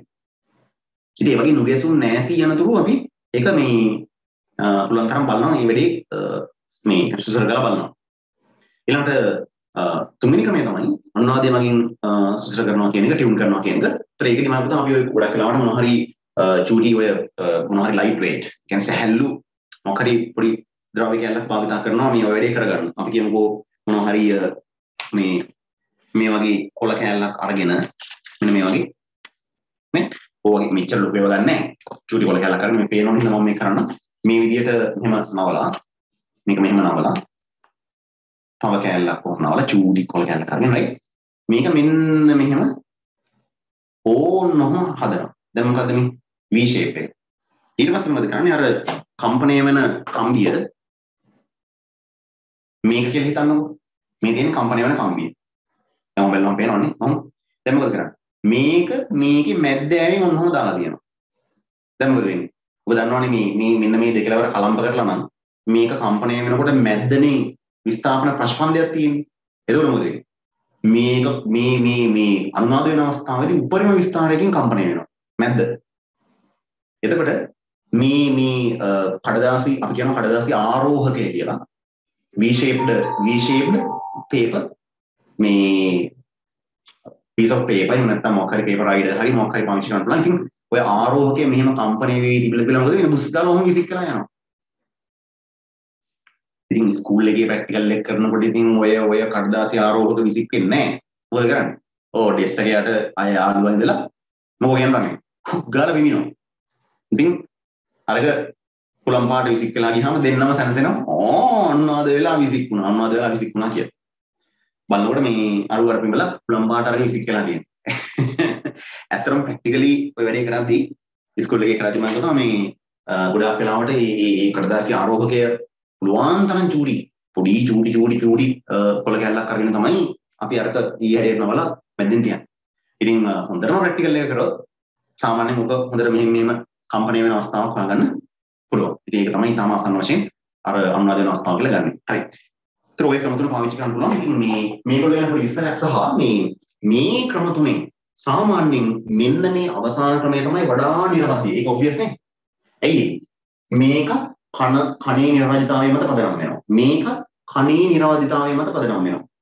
එතකොට මේක අනුනාද සංසිද්ධිය මත පදනම් වෙන්නේ. තේරුණා? ඒ නිසා මේක වඩා නිවැරදි. ඉතින් ඒ නිසා මේ මේ ක්‍රමයට අපි ස්ටික් කරනවා මේ ඔය ප්‍රැක්ටිකල් එක කරද්දී මේ අනුනාදය මගේ විශ්ව හෙලීම කියන එක වඩා නිර්මද්‍ය වේ. හරිද? අපි කියන high degree of accuracy වඩා නිර්මද්‍යයි. හරි? හරි. ඔච්චරයි. මේ ඔන්න සිදේ දැන් ඔබට මන අවබෝධයක් තියෙනවා මේ ශ්‍රවණය කියලා කිව්වහම කණින් ඉන්නවා කණින් හවෝ මොකෝ ඕ ආ සාමාන්‍ය නිකන් වගේ ටියුන් කරනවා. ඊළඟ මේකේ ඕ දෙන්නම එක සැරේ කම්පණය කරවල ඉවරලා නුදෙසුම් නෑසෙන තුරු වගේ සුසර කරනවා. ඊළඟ මේක අර සැහැල්ලු කඩදාසි ආරෝහකයේ අරක මැද්දින් තියලා කම්පණය කරවලා අනුනාදේ අවස්ථාව ලබා ගන්නවා. මොකෝ අරක වැඩිම සීගතාවකින් කම්පණය වෙලා විසික් වෙන අවස්ථාව කියලා. හරිද?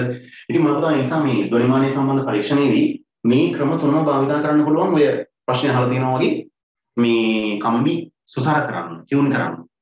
එතකොට වඩා නිර්වද්‍ය ක්‍රමය මොකක්ද? අන්නාදය මගින් සුසර කිරීම. පැහැදිලිද? right. ඊළඟට නැත්නම් අපි හිතනවා තමයි ක්ලියර් කියන්න.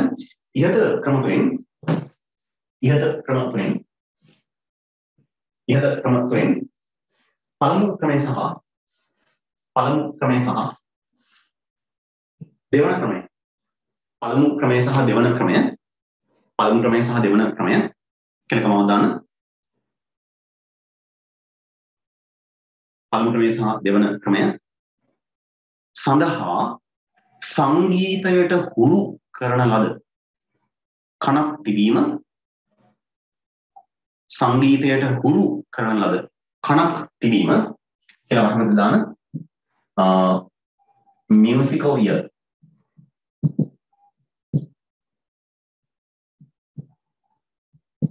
මියුසිකල් ඉයර් සංගීතයට හුරු කරන ලද කනක් තිබීම. අත්‍යවශ්‍යය අත්‍යවශ්‍යය සංගීතයට හුරු කරන ලද කනක් තිබීම. අත්‍යවශ්‍යය එම නිසා එම නිසා අනු නාදය මගින් සුසර කිරීම අනු නාදය මගින් සුසර කිරීම අනු නාදය මගින් සුසර කිරීම වඩා නිරවද්‍ය ක්‍රමයයි අනුනාදය මගින් සුසර කිරීම වඩා නිරවද්‍ය ක්‍රමය ආ මොකද ඔව් ඔව් ඔව් ආ මේ කන ගැන ලිව්වේ නේද මියුසිකල් කියලා ලියලා මේ YER කියලා ලියුවහම සංගීත අවුරුද්ද වෙනවනේ. ඒක මොකද්ද? ආ year year. ප්‍රතින් ආ හරි. සතුටු වීදිනේ. සතුටු වීදි. ඔව්. හරි මියුසිකල් year. නේද? මම හිතුවා ඒක සාමාන්‍යයෙන් මේ මම මේ විශේෂම එක දුන්නේ මියුසිකල් year කියන එක දුන්නේ. ඒක සාමාන්‍යයෙන් නිකන් ඒක නිකන් නිකන් කැතයි වගේ. ඒ වර්ඩ් එක නිකන් එතනට ඒක හරියන්නේ නැහැ මම සංගීත සංගීතයට හුරු කරනවද කනක් තිබීම කියන එක නිකන් මියුසිකල් ලියර් කියන එක නිකන් ඒක ගැලපෙන්නේ නැති ගතියක් වගේ කියනවා. නමුත් ඇත්තට මේක තමයි පාවිච්චි කරන වර්ඩ් එක. right musical ear is demanded කියලා අපි කියන්නේ මේ ඕ නුගෙසුම් මෙසි ඊමේල් සුසර කිරීම සහ මේ ශ්‍රවණයෙන් සුසර කිරීම කියන අවස්ථා දෙකේදී. හරි ඔච්චරයි. ප්‍රැක්ටිකල් එක සහ මේ ඔය මොනවාද මේ පැටිල් එක කරන විදිය මර්සන්ගේ නියම ඔප්පු කරන්න අපි මේක කරන්නේ කොහොමද කියන එක ඉතාම වැදගත්. ඒ කියන්නේ මේ ඉතාම ගැඹුරින් අවශ්‍ය වෙන ප්‍රැක්ටිකල් එකක්. ඔබෙන් බලාපොරොත්තු වෙන ප්‍රැක්ටිකල් එකක්. මොකද මේ මේ ධ්වනිමානයේ ප්‍රධානම මොකද්ද? යෙදීම ඔය. තේරුණා? ඉතින් ඕක ධ්වනිමානය තියෙනවා නම් ප්‍රැක්ටිකල් ලිස්ට් එකේ ධ්වනිමානය තියෙනවා නම් සිලබස් එකේ මොකෝ ඔය ප්‍රැක්ටිකල් එක අනිත් උත්තරම දැනගන්න ඕන ප්‍රැක්ටිකල් එක. හරිද? හරි. ඉතින් මේ අපි ඊළඟ Q&A එක දාලා තියමු. යන ධ්වනිමානය භාවිතයෙන් ධ්වනිමානය භාවිතයෙන් තිර තන්තුවක කම්පන පිළිබඳ නියම තිර තන්තුවක කම්පන පිළිබඳ නියම තුන අපි කියමු තිර තන්තුව කම්පන තිර තන්තුව කම්පන පිළිබඳ නියම තුන පරීක්ෂණාත්මකව පරීක්ෂණාත්මකව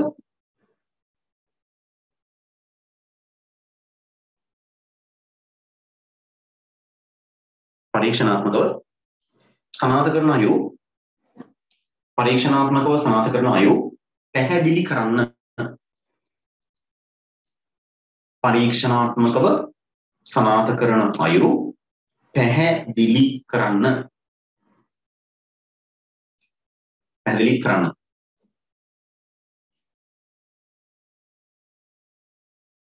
පැහැදිලි කරන්න. මම පුතා ඒකම ලියන්න එක්සෑම් එකට ලැබෙනවා වගේම වාක්‍යයක් අපි ඊළඟට ලියන්න යන්නේ.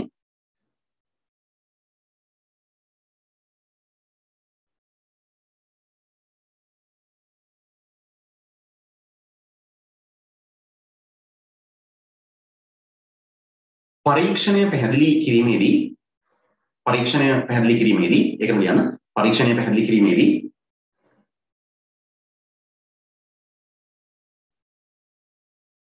වැදගත් කරුණු සහ පියවර වැදගත් කරුණු සහ පියවර සඳහා විශේෂ අවධානයක් යොමු කළ යුතුය. විශේෂ අවධානයක් යොමු කළ යුතුය. අපි ඊළඟ දවසේ කතා කරමු රයිට්. හරි. මොකද අද අපි හරිනේද? පරීක්ෂණය පැහැදිලි කිරීමේදී විශේෂ කරුණු සහ පියවර සඳහා විශේෂ අවධානයක් යොමු කළ යුතුයි. ඔය තියෙන්නේ හරියටම මාක්ස් ලැබෙන පොයින්ට්ස් ටික ලියන්න කියලා. හරිද? මම දැන් ඔය බුක් එක වහන්න ඒක පැත්තකින් තියන්න ප්‍රැක්ටිකල් බුක් එක ගන්න. මේ ඔබ බල සමාන්තරාශ්‍රය ගැන කතා කරලා තියෙනවානේ. ඒ ගැන කියන්න දෙයක් නැහැ නේ. ඒක දන්නවනේ. එතකොට බල සමාන්තරාශ්‍රය සම්බන්ධයෙන් අපිට තියෙනවා මේ පැටල් එකක් කතා කරන්න යාන්ත්‍ර විද්‍යාවේ. ඉතින් ඕකට අපි පාවිච්චි කරනවානේ අර මේ මෙන්න මෙහෙම තන්තු තුනක් පාවිච්චි කරනවා. right? මේ වගේ මේ බෝඩ් එකක් තියෙනවා මේ බෝඩ් එකේ ඔන්න ඔහම මේ කප්පි දෙකක් සෙට් කරලා තියෙනවා. ඊට පස්සේ අපි තන්තු දෙකක් අරගෙන මේ මෙතන ගැට ගහලා දැන් තව තන්තුවක් සම්බන්ධ කරලා. ඔගේ මේ මේ තන්තු තුනේ කෙලවරවල් තුනට ගන්න යනවා මේ වගේ සම්බන්ධ කරනවා මේ තරාදි තැටි ස්කේල් පෑන්ස් කියලා අපි කියන්නේ තරාදි තැටි ඕනම් සම්බන්ධ කරනවා. මෙයාගේ කෙලින්ම සම්බන්ධ කරනවා. දැන් ඊට පස්සේ මේක අපි මම කතා සාමාන්‍යයෙන් මේක පුවරුවක්. මතක තියාගන්න right මේක ඔන්නම බෝඩ් එකක්. මේක අපි හයි කරලා තියෙන එක බෝඩ් එකක්. ඍජුව කියන්නේ මේ දෘඩව හයි කරලා තියෙනවා දෘඩව සහ ඍජුව. ඍජුව කියලා කියන්නේ මේ කප්පි වල මේ මේ මෙන්න මේ මේ මේ වෘත්තාකාර කොටසේ තලය මේ මේ පුවරුවේ තලයත් එක්ක සමාන්තරයි. නැත්තම් මේ වැඩේ හරියන්නේ නැහැ. ඝර්ෂණය බලපානවා ඊට අමතරව මේ ගෲව් එක හරියටම ගෲව් එකේ තලය කියන්නේ මේ මේ කපියේ ඇලිය කපියේ ගෲව් එකේ තලය මේ මේ බෝඩ් එකේ තලයට සමාන්තර වෙලා තියෙන්න ඕනේ. එහෙම නැත්තම් තන්තු අර ගැටි වල ගැටි හරහා එහෙමේ වැටෙනවා. ඒතර ලොකු ඝර්ෂණයක් එනවා. ඒතකොට මේ අපට අවශ්‍ය විදිහට මේ පැටල් එක හරියට කරගන්න බැරි වෙනවා. ඒ කියන්නේ වැරදි දත්ත වැරදි නිරීක්ෂණ වලට තමයි යන්නේ. මම හිතනවා ඉතින් මේ මොකද්ද මේ දැන් මේ කරන්න හදන්නේ? අනේ ඉතින් මෙන්න මේ මේ දෙන්නගේ මේ දෙන්න මත ක්‍රියාත්මක මේ දෙන්නට මොන හරි දැන් මෙතන බරක් දැම්මහම මෙතනට එනවනේ T1 කියලා ආදිතියක් මෙතන බරක් දැම්මහම මෙතනට එනවා T2 කියලා ආදිතියක් එතකොට මෙන්න මේ ලක්ෂය සමතුලිතතාවයේ ඉන්න නම් මේ දෙන්නගේ සංප්‍රයුක්තය මේකට සමාන වෙන්න ඕනනේ. එතකොට මෙතනට බරක් දාලා මේක T3 කියන එක අපි බලනවා. ඊළඟ මොකද කරන්නේ? මේ චුට්ටක් මේම මේ මේ මේ නොට් එක. මේ ගැටේ පොඩ්ඩක් උල්ට හරි පල්ලයට හරි කරලා ඕ ඕ පොඩ්ඩක් අර අපි කියන්නේ මේ අපි උදේ නැගිට්ටාම නිකන් නේ ඊගලම් කරන්න බෝයි ආ නර නිකන් ඕ ලොක් වෙලා වගේ තිබිච්ච ගතිය පොඩ්ඩක් නැති කරගන්න ව්‍යායාම කිරීමෙන් මම පුතා ඒවා නෙවෙන්නේ නේ. දැන් මේ හන්දිය අපි තුමු අපේ වේස්ට් එක කොන්දෙන් නැවෙන්න අමාරුයි. නැවුනහම කෙලින් වෙන්න අමාරුයි. කෙලින් වුනහම ඇලවෙන්න අමාරුයි. එහෙම එහෙම තියෙනවා. ඒතර ඒ අර ව්‍යායාම කිරීමෙන් මොකෝ? ඒ සංදිවල තියෙන මොබිලිටි එක. සටලතාවය කියන එක වැඩි කරනවා ඉතින් ඒ වගේ අර දැන් සමහරවිට මේ මේ කම්පි වල තියෙන ඝර්ෂණ බල අර මේවා හින්දා මේ මේවා කැරකෙන්නේ නැතුව නිකන් හිර වෙලා වගේ තියනවා වෙන්න පුළුවන්. ඒ නිසා මේ මේ කරන්න මේක පාවිච්චි කරනකොට බෝඩ් එක කරනකොටම මේවා පොඩ්ඩක් මොකෝ ඔව් පොඩ්ඩක් කරවලා බලලා දුවිලි අරගෙන තියෙනවා අපි හිතලා මොකද ගන්න ඕනේ. ඊට අමතරව මේ තන්තු කොටස් ටික දාලා මේ මේක සම්බන්ධ කරද්දී සම්බන්ධ කරලා මේ සමතුලිතතාවය සමතුලිතතාවයට පත් වුණාට පස්සේ චුට්ටක් පල්ලෙහාට ඇදලා යම් ප්‍රමාණයකට පල්ලෙහාට ඇදලා අතාරිනවා. එයි ආ එතකොට මොනවා හරි නිකන් හිර වෙච්ච ගතියක් තිබ්බනම් එහාට මෙහාට වෙලා ආයෙම සැරයක්. මොකෝ උඩට පල්ලෙහාට ගිහලා පොඩ්ඩක් ඔව් එක්කෝ සමහරට උඩට යනවා යම් ප්‍රමාණයකින් එක්කෝ තව පොඩි ප්‍රමාණයකින් පල්ලෙහාට යනවා එහෙම ගිහලා සම්පූර්ණතාවයටපත් වෙනවා. පැහැදිලිද? හරි. ඕක තමයි කතාව. දැන් ඉතින් මම කිව්වට මෙහෙම බෝඩ් එකක් තියෙනවා අර එන්නේ කියලා කිව්වට ඉතින් ඔක නේ දැක්කහම තියෙන සතුට නේද? මේක තියෙන්නේ මේ තියෙන බෝඩ් එක. තේරෙනවද ඉතින් මේක මේ දැන් ඔය ඔයාලට මම කිව්වේ බලන්න මේකේ මේ මම තමයි මේ මේක ගත්තාම මේ අනේ වගේ හොඳට කැරකෙන්න ඕන. ඉතින් අපි මේකට සමහරවිට මේ ඇක්සල් වලට පොඩ්ඩක් මේ මොන හරි රීස්ටාර් වෙලා හරි මොනවා හරි දාලා නේ. මල මැදෙන්නේ නැති වෙන්න හොඳට මතක තියාගන්න මල මැදෙන්නේ නැති වෙන්න මල බැදෙන්නේ නැති නැති වෙන්න මලින වෙන්නේ නැති වෙන්න මේවා හදලා තියෙන්නේ පිත්තල වලින්. මොනවද බ්‍රාස් පිත්තල තර මේක තවත් එහෙම ඔය දැන් අර තන්තුව ගත්තා මෙතනින් මම අරන් ගියා. ස්කේල් පෑන්ට් මේ ස්කේල් මේ තරල් ගැටියක් සෙට් කරා. මෙතනින් ගත්තා තරල් ගැටියක් සෙට් කරා. මෙතන ගැටේ දිනනවා මෙතනින් ගත්තා මෙතන. මෙතනට තව තරල් ගැටියක් සෙට් කළා. එතන මේකට වරක් දැම්ම අරකට වරක් දැම්ම ඔව්. මේක සමතුලිතතාවයට පත් වෙනතුරු මේකටත් බර එකතු කරලා මේ මේ වගේ තැනකදී මතක තියාගන්න අර අර නොට් එක. දැන් මේකේ මේ ඩයග්‍රෑම් එකේ අපි ඒක පෙන්න මේ මම පුතා පැහැදිලිව පෙන්නන්න ඕන. මේ ඩයග්‍රෑම් මේ මේ පුවරුවේ රූප සටහන අඳිද්දි මතක තියාගන්න මේ මේ නොට් එක මේ ගැටේ සම්පූර්ණ සම්බන්ධ වෙන ස්ථානේ මේ පුවරුවේ මේ තලය මත තියෙන්න ඕන. තලය මත කියන්නේ මෙහෙ නෙමෙයි මේ පුවරුව මත. හරිද? ඊට පස්සේ අපි කරන්නේ ඕකේ මේ දැන් අපි කියමුකෝ මෙහෙම දැන් ඔන්න මම ප්‍රැක්ටිකල් එක කළා. ප්‍රැක්ටිකල් එක කළාම මේ මෙතන ඉඳලා එනවා මෙහෙම එක තන්තුවක්. අනිතන් අනිත් තන්තුව එනවා මෙතන ඉඳලා මෙහෙම. මෙන්න මෙතන තමයි නෝට් එක පේන්නේ අනිත් තන්තුව යනවා මෙහෙම. හරිද? දැන් ඔහොම වුණාම මේ මම මේ පෙන් එක පාවිච්චි කරලා කළා වගේ මෙතන ඉඳලා මෙහෙම එනවනේ තන්තුව. මෙතන ඉඳලා තන්තුව එනවා මෙතන ඉඳලා මේක පල්ලෙහාට උණ යනවනේ අනිත් තන්තුව. අර තන්තු වල පිහිටීම මෙහෙම සලකුණු කරගන්න ඕන. පැහැදිලි? මේ බෝඩ් එකේ නෙමෙයි. බෝඩ් එක සලකුණු කරලා හරියන්නේ නැහැ ඒක on මේ පුවරුව මත සුදු කඩදාසියක් කියලා A4 එකක් ගත්තා නම් හොඳටම ඇති. A4 එකක් අරගෙන ඒක මෙහෙම මේකට සම්බන්ධ මෙහෙම මේක සම්බන්ධ කරලා මේ මොකෝ ඔන්න ඒක මත අර මේ පැන්සලෙන් තන්තු වල පිහිටීම් මේ වගේ සලකුණු කරගන්න ඕන. දිගට නෙමෙයි යම් ප්‍රමාණයකට සලකුණු කරගන්නවා. ඊට පස්සේ අපි අපි මේක ඕකේ කියලා දැන් ගත්තට පස්සේ අර මේ කොට සයින් කරලා හරි මේ පේපර් එක අරගත්තට පස්සේ දැන් අපිට අර A4 sheet එකේ තියෙනවා මේ තන්තු වල පිහිටීම්. පැහැදිලි? දැන් ඊළඟට මේ දාපු බරවල් අපි දන්නවනේ. එතකොට අපි කියමුකෝ මෙතන ග්‍රෑම් 100යි මෙතන ග්‍රෑම් මොනවා හරි අපි කියමුකෝ නෑ මෙතන 300යි මෙතන 400යි කියලා නේ ඒක හරියම නිකන් නිකන් මෙතන 500යි කියමුකෝ එතකොට ග්‍රෑම් 100ක් සෙන්ටිමීටර් මෙච්චරකින් නිරූපණය වෙයි කියලා මොකද අඳින්නේ පරිමාණ රූපයක් අඳිනවා එච්චරයි වැඩි ඒක අර මොකෝ ඕ අර A4 sheet එකේ ගහපු මෙන්න මේ මේ මේ ලක්ෂය ඔහොමම තියෙද්දි මෙතන 3 සෙන්ටිමීටර් මෙතන 4 සෙන්ටිමීටර් ඔහොම ඇඳලා ඒ සමාන්තරාශ්‍රය සම්පූර්ණ කරනවා. ඒක ඔබ දන්නවා සංරචක දෙක හමු වෙන නැත්නම් සංරචක දෙකට පොදු ලක්ෂ්‍ය හරහා වැටෙන සමාන්තරාශ්‍රයේ විකරණය මගින් මොකෝ දෙන්නගේ සංප්‍රයුක්තය පේනවා. එතකොට ඒ ලැබිච්ච සංප්‍රයුක්ත මේ නිර්මාණය කරපු සමාන්තරාශ්‍රයේ මෙන්න මේ විකරණයේ දිගමන ගන්නවා ඩෙවලොප් පාවිච්චි කරලා. පැහැදිලිද? දැන් බලනවා අපි ගත්ත පරිමාණයට අනුව මේක සෙන්ටිමීටර ගාන මගින් නිරූපණය වෙන ඕ වේට් එක කොච්චරද කියලා. පැහැදිලිද? එතකොට ඒ ගත්ත වේට් එකයි ඇත්තටම ප්‍රැක්ටිකලි මේකට දාලා තියෙන වේට් එකයි මොනමානෑ සමාන වෙනවා. ඒ සමාන වීම මොකද්ද තේරෙන්නේ? බල සමාන්තරාශ්‍ර නියමය නැත්නම් ප්‍රමේය මොනවා කියලාද? සත්‍යයි කියලා. පැහැදිලි? ඒක තමයි කතාව. ඉතින් ඕකෙදී අර විශේෂම අර මම ඉස්සෙල්ලා කිව්වා වගේ මම හිතා මේ අපි අර තන්තු වල පිහිටීම් ලකුණු කරද්දී හොඳට මතක තියාගන්න තන්තු වල පිහිටීම් ලකුණු කරද්දී මේ තන්තු වල පිහිටීම් මෙහෙම ලකුණු කරද්දී අපිට මේ මේ නිකම්ම නිකම් පැන්සලෙන් යන්න යන්න බෑ. තේරුණාද? අන්න ඒවා තමයි ලකුණු ලබා ගන්න ප්‍රැක්ටිකල් එක මම කරා කියන එක නිරූපණය කරන්න පුළුවන් පොයින්ට්ස්. පාවිච්චි කරන්න ඕන විශේෂ උපකරණයක් තියෙනවා. නිකම් පුළුවන් නම් ටයිප් කරන්න. තන්තු වල පිහිටීම් ලකුණු කරගන්න භාවිතා කරන විශේෂ උපක්‍රමයක් තියෙනවා. අපි මෙහෙම කියමු උපකරණයක් තියෙනවා. මොකක්ද ඒ? තන්තු වල පිහිටීම් තන්තු වල පිහිටීම් ලකුණු කරගන්න ඔබ අනිවාර්යයෙන්ම ලියන්න ඕන.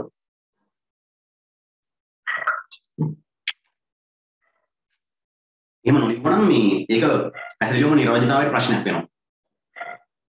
මොකක්ද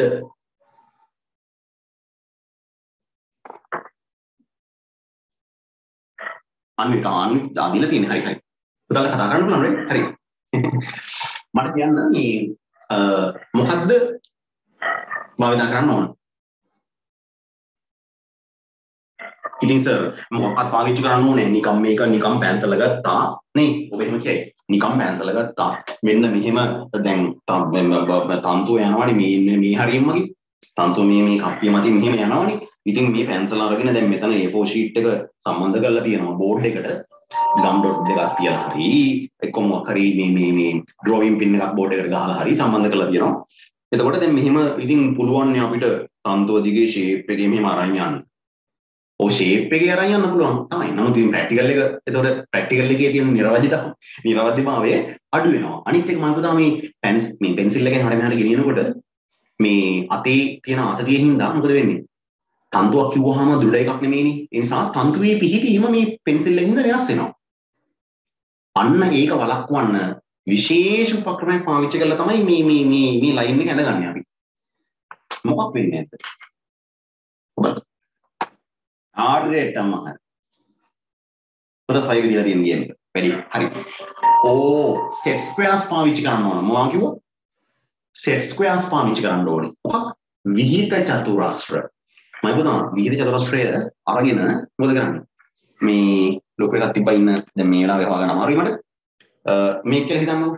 එතකොට මේකේ දැන් විහිිත චතුරස්‍රය ගත්තාම එයාගේ තියෙනවනේ එක සයිඩ් එකක් දැන් මෙහෙම අංශක 90ට තියෙන මේ නේ? අංශක 90ට තියෙනවනේ. දැන් මේකේ මේ කටින් තමයි අල්ලගන්න හරි අංශක 90ට තියෙන එකක් අරගෙන දැන් මෙයාව ගත්තොත්. මම දැන් මේක පාවිච්චි කරලා කියලා දෙන්නම්.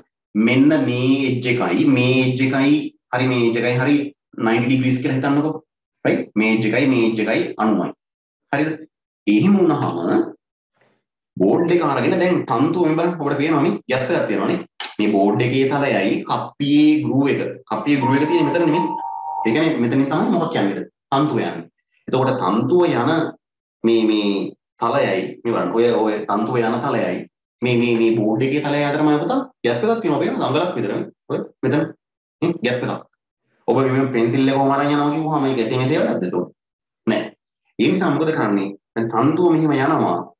තන්තුවේ ගෑවෙන විදියට අර අංශක අණුවේ එජස් දෙකෙන් ඒ කියන්නේ විහිද චතුරස්‍රයේ අංශක අණු නිර්මාණය කරන මේ දාර දෙකෙන් එක දාරයක් මේ බෝඩ් එක මත තියලා හිමින් සීරුවේ අර තන්තුව මත මොකෝ තන්තුවේ ගෑවෙන තුරු මෙන්න බලන්න. ඔන්න ඔහොම කිට්ටු කරනවා. හරිද? ඔන්න දැන් ඔබට පේනවා විහිද චතුරස්‍රයේ අර මේ තලයෙන් උඩට එන අංශකාණුවේ අංශකාණු නිර්මාණය කරපු ධාරය දැන් තන්තුවත් එක්ක ස්පර්ශ වෙනවා. දැන් මොකද කරන්නේ? හිමීට පෙන්සිල් එක අරගෙන විහිද චතුරස්‍රයේ පාමුල ඒ කියන්නේ මේ බෝඩ් එකේ ඒ කියන්නේ දැන් අර A4 sheet එකේ හිතක් තියෙනවා. තේරුණා? තව චුට්ටක් එහාට ගිහිල්ලා ආයිමත් අර විදිහටම කරනවා. තිතක් තියෙනවා. තව චුට්ටක් එහාට ගිහිල්ලා ආයිමත් අර විදිහටම කරනවා. අන්න ඒ වගේ තිත් කීපයක් හතරක් විතර මේ දිග දිගේ මොකෝ මේ තන්තුව දිගේ තිත් කීපයක් හතරක් විතර මේ මේ මේක. මේ කොටස. මේක දිගේ අර විදිහටම මෙහෙම තිබ්බා. මේ වගේ තැනක තන්තුව ටච් වෙනවා. මෙතනින් මොකෝ මෙන්න මෙතනින් පොඩි ඩොට් එකක් තියාගත්තා. තව පොඩ්ඩක් පල්ලෙහාට ගෙනාවා. මෙතනින් අන්න තව මෙතනින් පොඩි ඩොට් එකක් තියාගත්තා. මෙතනින්ද ගෙනාවා පොඩි ඩොට් එකක් තියාගත්තා. මෙතනින් ගෙනාවා පොඩි ඩොට් එකක් තියාගත්තා. දැන් ඉන්ෆෝ ෂීට් එක ගත්තාම dot dot dot dot dot dot dot dot dot dot dot dot dot dot තියෙනවා. මුකුත් අර මේ මේ තන්තු වල පිහිටීමට මුකුත් එහා මෙහා කරලා වෙනස් කරලා නෙමෙයි ඩොට්ස් තිබ්බේ. දැන් මොකද කරන්නේ? අඩිමුල ගත්තා. ගාන ඩොට්ස් එක සෙට් කරලා ලයින් එක ගියවුවා. ලයින් එක ගියවුවා. ලයින් එක ගියවුවා. පරිමාණය පාවිච්චි කරලා බර ලකුණු කරා. බර ලකුණු කරා. ඔව් සමාන්තර සම්පූර්ණ කරා. සමාන්තර ආශ්‍රේ විකරණය යනවා. ඒ විකරණය ගත්තා. මොකේද? විකරණයේදී ආ විකරණයේදී ගන්නේ කොහොමද? ඒ කියන්නේ විකරණයේදී ගමන්නේ කොහොමද? මොකටද කියන්නේ? දැන් මම කියවනේ සමාන්තර ආශ්‍රය නිර්මාණය කරා. දැන් සමාන්තර ආශ්‍රයේ මේ මේ අර මොකද්ද? සංරචක දෙකට පොදු ලක්ෂ්‍ය හරහා යන විකරණය ගත්තා. ඒ විකරණය මේ ඒ විකරණයේ දිග මැන ගන්න ඕන. ඒ දිග අපේ පරිමාණයත් එක්ක සංසන්දනය කළා තමයි අපි තීරණය කරන්නේ ආ මේ විකරණය වගේ මෙච්චරක සම්ප්‍රයුක්තයන් නිරූපණය වෙනවා කියලා. ඒකයි ඊළඟට අර ඇත්තටම දාලා තියෙන පඩිගානේ සංසන්දනය කරලා බලනවා. කවදාවත් අඩි රූලක් තියලා අපි එහෙම දිගමනින්නේ නැහැ. කොහොමද මනින්නේ? අර ලැබිච්ච සමාන්තර ආශ්‍රයේ පළවෙනි ඩයගනල් එක විකර්ණයේ දිගේ පළවෙනි ලක්ෂයයි දෙවෙනි ලක්ෂයයි මොකෙන්ද? ඩිවයිඩර් බෙදුම් කටුව පාවිච්චි කරලා ගන්නවා. හරි බෙදුම් කට්ට පාවිච්චි කරලා ගන්නවා මෙහෙම බෙදුම් කට්ටට ගන්නවා ඒ කෙලවරවල් දෙක ඊට පස්සේ බෙදුම් කට්ට අරගෙන මොකෝ අඩි රූල මත තබා අන්න දිග දැනගනු ලැබේ පැහැදිලි එහෙම නැත්නම් කවදාවත් මේ අඩි රූල මේ කොට තියලා කරලා අහන්න එහෙම දිග මනින්නේ නැහැ. මනින්න පුළුවන් මොන කෙනෙක්ට. ප්‍රශ්නේ තියෙන්නේ ඇකියුරසි එක අඩු වෙනවා. හරිද? ඒතර ඔබ උත්තරේ ලියද්දි මම පුතා ලියන්න ඕන මොකද්ද? මේ විකර්ණයේ දිග බෙදුම් කට්ටක් සහ අඩි රූලක් මාවිදෙන් ඒ ලිවන හොඳටම ඇති. ආයි ලියන්න ඕනේ බෙදුම් කට්ටට මොකෝ පාද දෙකක් ඇත. ඒ පාද දෙක උල් සහිතය. ඒවා මුකුත් එහෙම ලියන්න ඕනේ බෙදුම් කට්ටක් සහ මේ මේ මේ මීටර රූලක් මාවිදෙන් නැත්නම් මීටර පොදු මාවිදෙන් දිග දැනගනු ලැබේ හරි? හරි. ඕක තමයි ප්‍රැක්ටිකල් එක. අපි ඕක ගැන ලියන්න යන්නේ. එතකොට මුලින්ම චුටි මාතෘකාවක් දාගන්න. අලුත් අලුත් පිටුකින් පටන් ගන්න. රයිට් පොඩි මාතෘකාවක් දාන්න. බල සමාන්තරාශ්‍ර වේගින් ලියන්න. බල සමාන්තරාශ්‍ර නියමයේ සත්‍යාපනය කිරීම. බල සමාන්තරාශ්‍ර නියමයේ සත්‍යාපනය කිරීම. බල සමාන්තරාශ්‍ර නියමයේ සත්‍යාපනය කිරීම. සහ බල සමාන්තරාශ්‍ර නියමයේ සත්‍යාපනය කිරීම සහ එය භාවිතයෙන් එය භාවිතයෙන් දෙන ලද වස්තුවක ස්කන්ධය සෙවීම. ඒ භාවිතයෙන් දෙන ලද වස්තුවක ස්කන්ධය සෙවීම. හරිද? රයිට් ලිවිලක් තියෙන ඔය ප්‍රැක්ටිකල් එක ලියපු දැන් උඩ මාතෘකාව දැම්මනේ ඊළඟ උඩ මැද ඉන්න චුටි මාතෘකාව දාන්න බල සමාන්තරාශ්‍ර නියමය. බල සමාන්තරාශ්‍ර නියමය. බල සමාන්තරාශ්‍ර නියමය. දැන් මම හිතනවා normal colors ගන්න අතර normal colors මේ different colors මේ බල සමාන්තරාශ්‍ර නියමය ආයෙසරයක් අපි ලියනවා. ඒ මොකද? මතක් වෙන්න ඕනේ හින්දා. පැහැදිලිද right අරගෙන මේක මේක ලියගෙන ලියගෙන යන්න. යන්න ලක්ෂයකදී ක්‍රියා කරන ලක්ෂයකදී ක්‍රියා කරන දෛශික දෙකක්. ලක්ෂයකදී ක්‍රියා කරන දෛශික දෙකක්. ලක්ෂයකදී ක්‍රියා කරන දෛශික දෙකක්. විශාලත්වය හා දිශාව විශාලත්වය සහ දිශාව අතින් සමාන්තරාශ්‍රයක බද්ධ පාද දෙකක් මගින් නිරූපණය කළ විට ඔබ තනියෙන් ලියන්න මේක ලියන්න පුළුවන් නේ සමාන්තරාශ්‍රයක බද්ධ පාද දෙකක් මගින් නිරූපණය කළ විට එම දෛශික දෙකේ සම්ප්‍රයුක්තය එම දෛශික දෙකේ සම්ප්‍රයුක්තය කියලා කමක් දාන්න. විශාලත්වය සහ දිශාව අතින් විශාලත්වය සහ දිශාව අතින්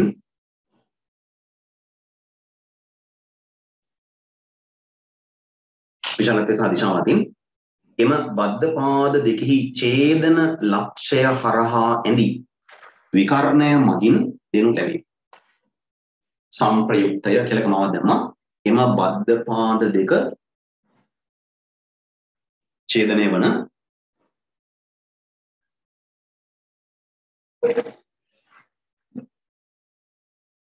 ලක්ෂය නැත්නම් බදපාද දෙකෙහි ඡේදන ලක්ෂය හරහා වැටෙන විකරණය මගින් දෙනු ලැබේ. විකරණය මගින් දෙනු ලැබේ.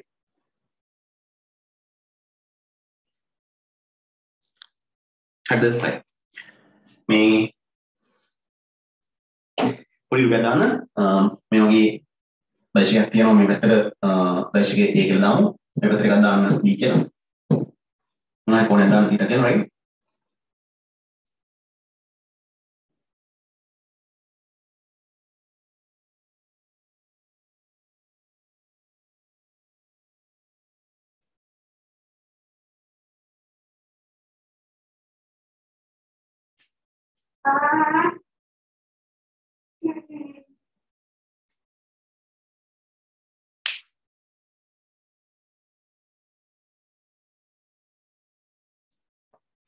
මොකද හරිනේ රයිට් මේ දැම්මා මේ මේක අදින් ටැග් ගාලා සමාන්තර ආශ්‍රේ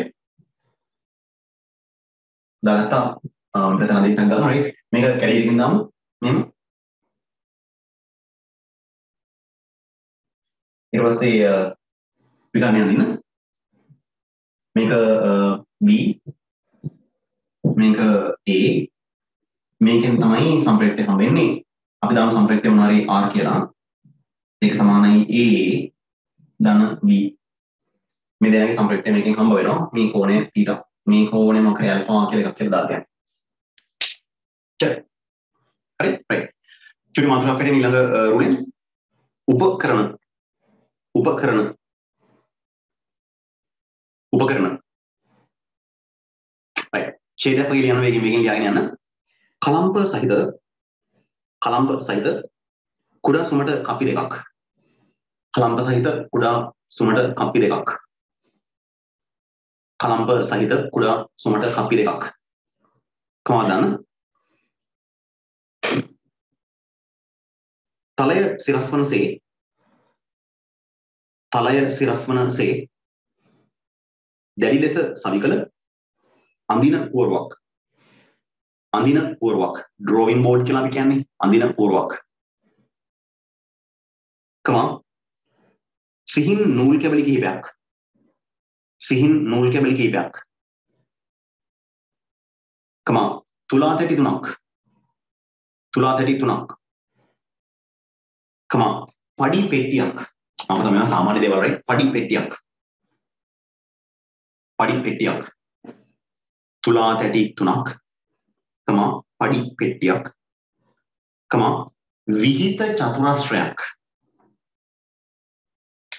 විහිත චතුරස්‍රයක් හෝ තව චුටි ක්‍රමයක් කියලා දෙන්නම්කෝ පැටිකල් එක කරද්දි right විහිත චතුරස්‍රයක් හෝ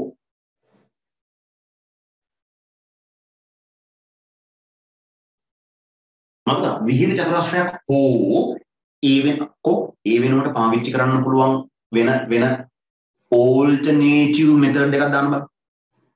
හරි අපි කියමු විහිද චතුරස්‍රයක් හොයාගන්න නැහැ. ඈ කවුරුවත් ගෙනල්ලා නැහැ. පන්තියේ වෙන කවුරුවත් ගෙනල්ලත් නැහැ, ග්‍රේඩ් එකේ වෙන කවුරුවත් ගෙනල්ලත් නැහැ. ස්කූල් එකේ හොයාගන්නත් නැහැ. ළඟ පාඩක කඩවල් වලත් නැහැ. හරි. මේ යන විදිහට එහෙම වෙන්න පුළුවන්. හරි අපි කියමුකෝ නැහැ කියලා. විහිද චතුරස්‍රයක් නැත්තම් මට කියන්න ඔබ බලන්න කරන්න පුළුවන් ක්‍රමයක් මොකක්ද කියලා. දැන් ඕක පේපර් පාර්ට් එකේ අහන්න පුළුවන් කොටසක්. විහිද චතුරස්‍රය විහිද චතුරස්‍රයක් සපයා නොමැති විට එම කාර්යය සඳහා භාවිතා කළ හැකි ගෝ වෙන උපක්‍රමයක් යෝජනා කරන්න. ඔය ඉතින් පේපර් පාර්ට් එකේ. බලමු. හරියට හරි නියමයි. පුතා ඔසිදී. එතකොට දැන් මේ මේ බලන් ගියාම දැනුම නිකන් නේ එක තැනකට ඇවිල්ලා නැතුව නිකන් ස්කැටර්ඩ් නේ. ඒ කියන්නේ ප්‍රකීර්ණය වෙලා තියෙන්නේ. පුතා ස්වයං නම් කිව්වා විවිධ චතුරස්‍රයක් කියලා. ඊළඟට දැන් පුතා මේ පුතා ඖෂධය කියනවා තල දර්පණ තීරුවක් කියලා නේ. ඔව් කට්ටියට සෙට් වෙලා පේපර් ලියන්න තිබ්බනම් තමයි ඕ අන්න හරි. කට්ටිය ඔක්කොම එකට සෙට් වෙලා පේපර් ලියන්න තිබ්බනම් ඔන්න ඔන්න හරියට වැඩි. ඉතින් ඒ නිසා මේ මම පුතා ඉගෙන ගන්න දේ හරියටම ඉගෙන ගන්න දේ හරියටම ඉගෙන ගන්න ඒක ආයි ආයි අඩුපාඩුවක් නැතුව වැදගත් මං කියන්නේ ඉතින් ඒ නිසා මේ මේගොල්ලෝ විහිද විහිද චතුරස්‍රය දෙන්නේ නැතුව සෙට්ස් ප්ලෑන් එක දෙන්නේ නැතුව වෙන ක්‍රමයක් යෝජනා කරන්න කියලා කිව්වොත් එහෙම ටක් ගාලා මොකෝ කලදර්පණයක් භාවිතා කරලා අපි වැඩේ කරන්න පුළුවන් හරි හරි අපි බලමු කොහොමද කරන්න කියලා ඊළඟට මේ අර කමාව ඔව් අපි ලියවනේ විහිද චතුරස්‍රයක් හෝ කෙටි තල දර්පණ තීරුවක් කෙටි පල්ලරපන් කිව්වක් මේක මේක. ප්‍රැක්ටිකල් කියන්නේ ඉතින් මොකද්ද? ලිවිල්ලක් තියෙන එක නෑ කරා වගේ එක්ස්ප්ලেইন කරාන පස්සේ ආ හරි. පැටියල තේරුම් ගත්තා. දැන් ඉතින් ලියනවා ලියනවා ලියනවා. පුළුවන් තරම් අත්‍යවශ්‍ය දේවල් ලියා ගන්න ඕනේ ඇයි ප්‍රශ්නේ කොහින් අහයිද මොකක් ටාගට් කරලා අහයිද කියලා අපි දන්නේ මොක ඇහුවා මට මොකෝ කියන ගන්න මොකෝ? මේ දියුණු කරගෙන යන්න ඕනේ. හරිද? ඒකට අලේ දැඩිවනසේ දැඩිව මේ සිරස්වනසේ දැඩි ලෙස සකස් කරන ලද මේක ඒකද මෙහෙම දැන් මේක අපිට දැන් මේක මේක මේ මම හදපු එකක් නේ. දැන් මේ මේක මම පුතා මේ මෙන්න මේ බෝඩ් එක ගැන තමයි ඔය කිව්වේ. දැන් මේක දැන් මේ බෝඩ් එක නැත්තම් මේ අර A4 එක මේක ඇතුලේ තියාගන්න විදියක් නැහැ නේ. A4 එක තියාගන්න තලයක් නැති වෙනවනේ ඒ නිසා මේ වගේ බෝඩ් එකක් ඕන. අපි කියන්නේ ඩ්‍රොයින් බෝඩ් කියලා මේ මේ ලැබ් එකේ තියෙනවා මේ ඩ්‍රොයින් බෝඩ් අඳින පුවරු කියලා අපි සාමාන්‍ය සිංහලෙන් ඔකට කියන්නේ ඩ්‍රොයින් බෝඩ් කියලා අඳින පුවරු කියන එක අමතක වුණොත් ඩ්‍රොයින් බෝඩ් කියලාම ලියන්න රයිට් කිසි අවුලක් නැහැ මේ මේක දැන් මේ මේ උපක්‍රමය මේ විදිහට හදලා තිබුණාට මම පුතා මේකට එහෙම නමක් නැහැ දැන් අපි අර අතන අර අනුවාදනවල කතාව කරද්දී අපි ඒ මේ අනුවාදනවල අර මේ මොකද්ද වාත කඳ වෙනස් කරගන්න අනුනාදනල පට්ටලය කියලා එකක් පාවිච්චි කරන්න පුළුවන්. ඒතර PVC බටේ නැත්තම් අපිට ඒක ලියන්න පුළුවන්. අර මේකට බල සමාන්තරාශ්‍ර උපක්‍රමය කියලා එක උපකරණය කියලා එහෙම නමක් නැහැ මේකට. ඒ නිසා අපි මේක දැන් මේ විදියට තනි එකක් විදියට මේක හැදුවට හදලා තිබ්බට සමහර වෙලාවට මේක not available. ඒ වගේ වෙලාවක පොදුවේ අපි කියන්නේ මොකද්ද? මෙහෙම මේ කලම්ප කරපු අපිට ඕන වෙන්නේ මෙහෙම කලම්ප කරපු මේ කප්පි දෙකයි මෙන්න මෙහෙම තලය සිරස් වන පරිදි. ඒ මොකෝ නැත්තම් අර යන තන්තු මේ කොහේ හරි මේ මේ මේ බෝඩ් එකේ කොහේ හරි ගෑවෙන්න පුළුවන්. නිසා මෙන්න මෙහෙම. හරි මේ මේ ඇහි මානෙට මේක කළා හරියන්නේ නැහැ. මේක සිරස් කරගන්න මොකක් පාවිච්චි කරන්න ඕනද? ස්පිරිත්තු ලෙවලයක් භාවිතා කරන්න ඕන. මොන ලෙවලයක්? ස්පිරිත්තු ලෙවලයක්. එතකොට මේ තලය සිරස් කියලා බලාගන්නේ කොහොමද? ස්පිරිත්තු ලෙවල් එක මේ තලය උඩින් තිබ්බා. තියලා ඒක හරියටම ඕ අර වායු බුබුල ගාන්ට මැද්දට එනකම් මේ තලය සිරුමාල් කරලා ගන්න ඕන. හැදෙලිද? ඉතින් මම හිතුවා දැන් මේක අපි සාමාන්‍යයෙන් පාවිච්චි කරා. අපි සාමාන්‍යයෙන් මේ මේ මේ සම්පූර්ණ උපක්‍රමය භාවිතා කරා වුණා. මේක රඳවන්න ඉතින්. මේක මෙහෙම දෙකක් රිටෝට් ක්ලෑම්ස්.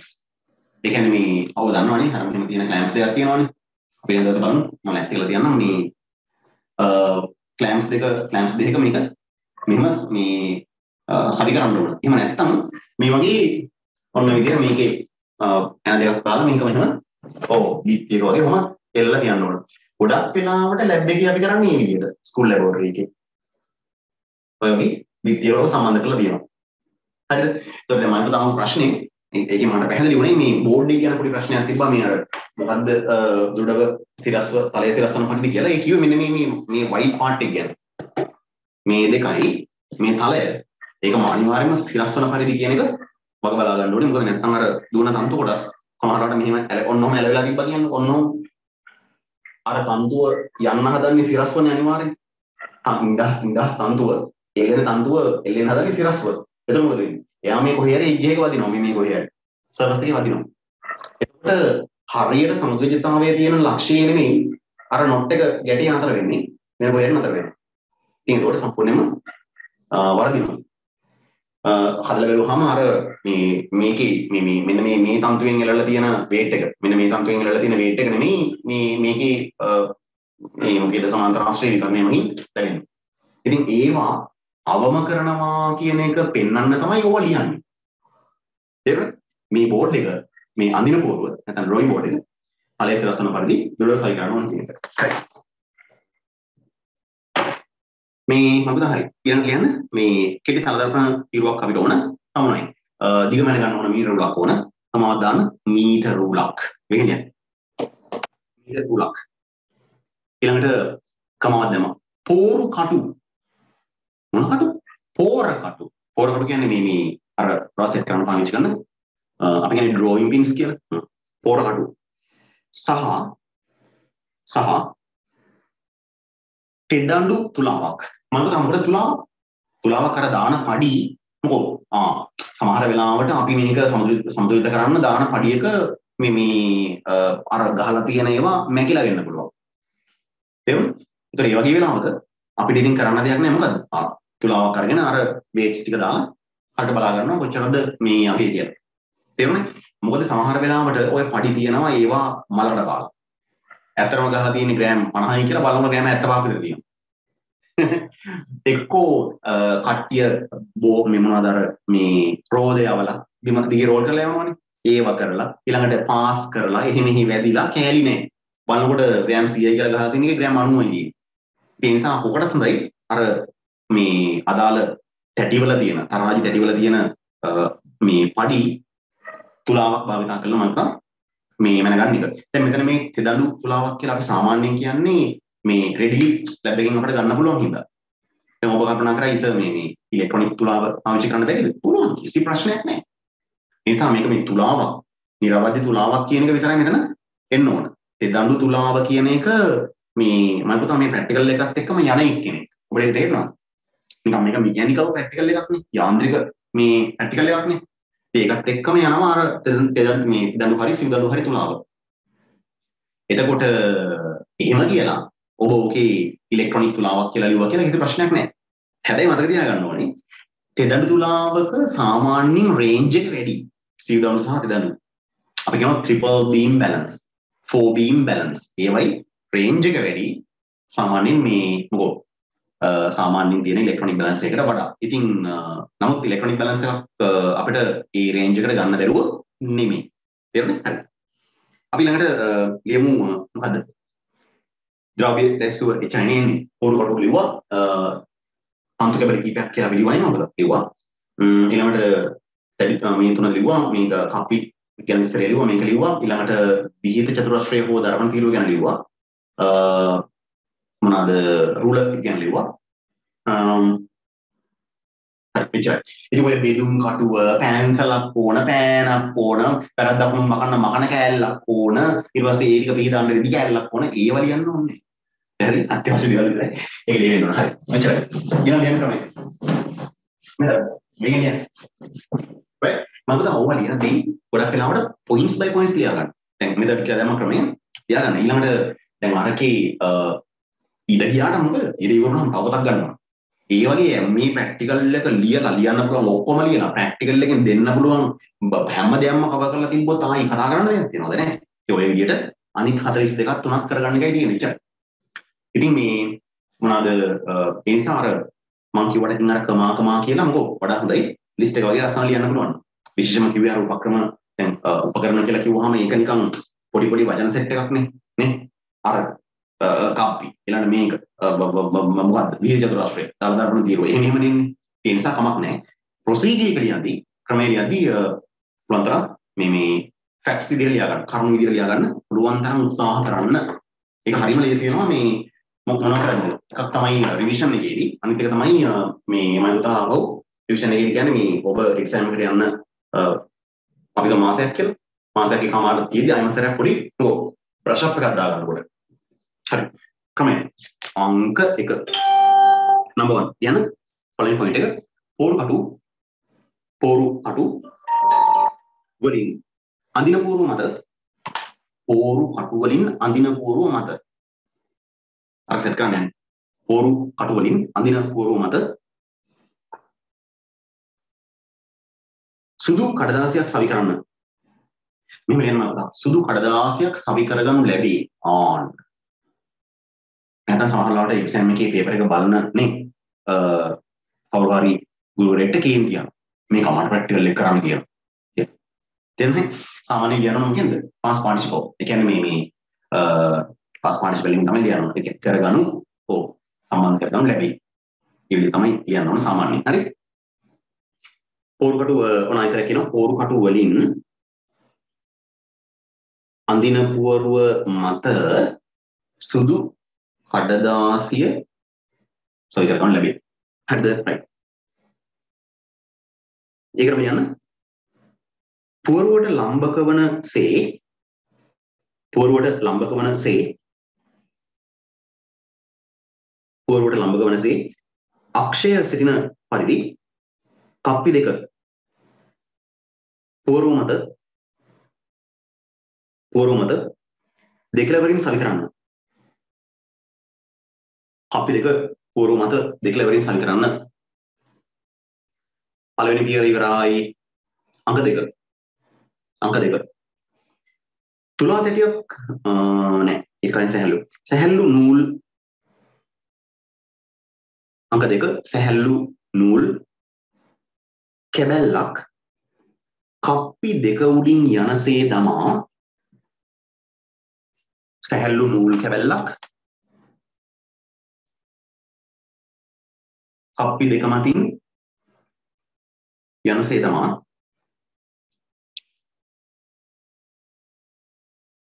කප්පි දෙක මතින් හරි උඩින් හරි යනසේ තමා එහි දෙකලවර තුලාතට ඉල්වා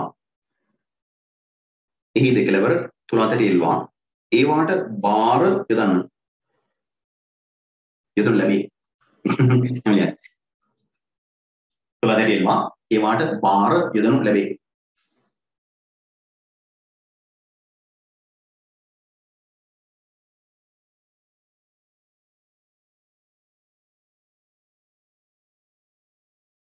දැන් මම හිතනවා එතකොට අපි දැන් අර මෙහෙම මෙහෙම මේ කප්පි දෙක තිබ්බනේ ඒ කප්පි දෙකේ ඉස්සෙල්ලම කරේ තන්තුවක් ගත්තා තංගල උඩට ගන්න ඒ තන්තුව කෙලින්ම දැම්මා කොහොම කප්පි දෙක වටා දාලා ඉවරලා දෙක ලෙවලට තුලා දෙක සම්බන්ධ කරලා බාර දෙකක් දැම්මා.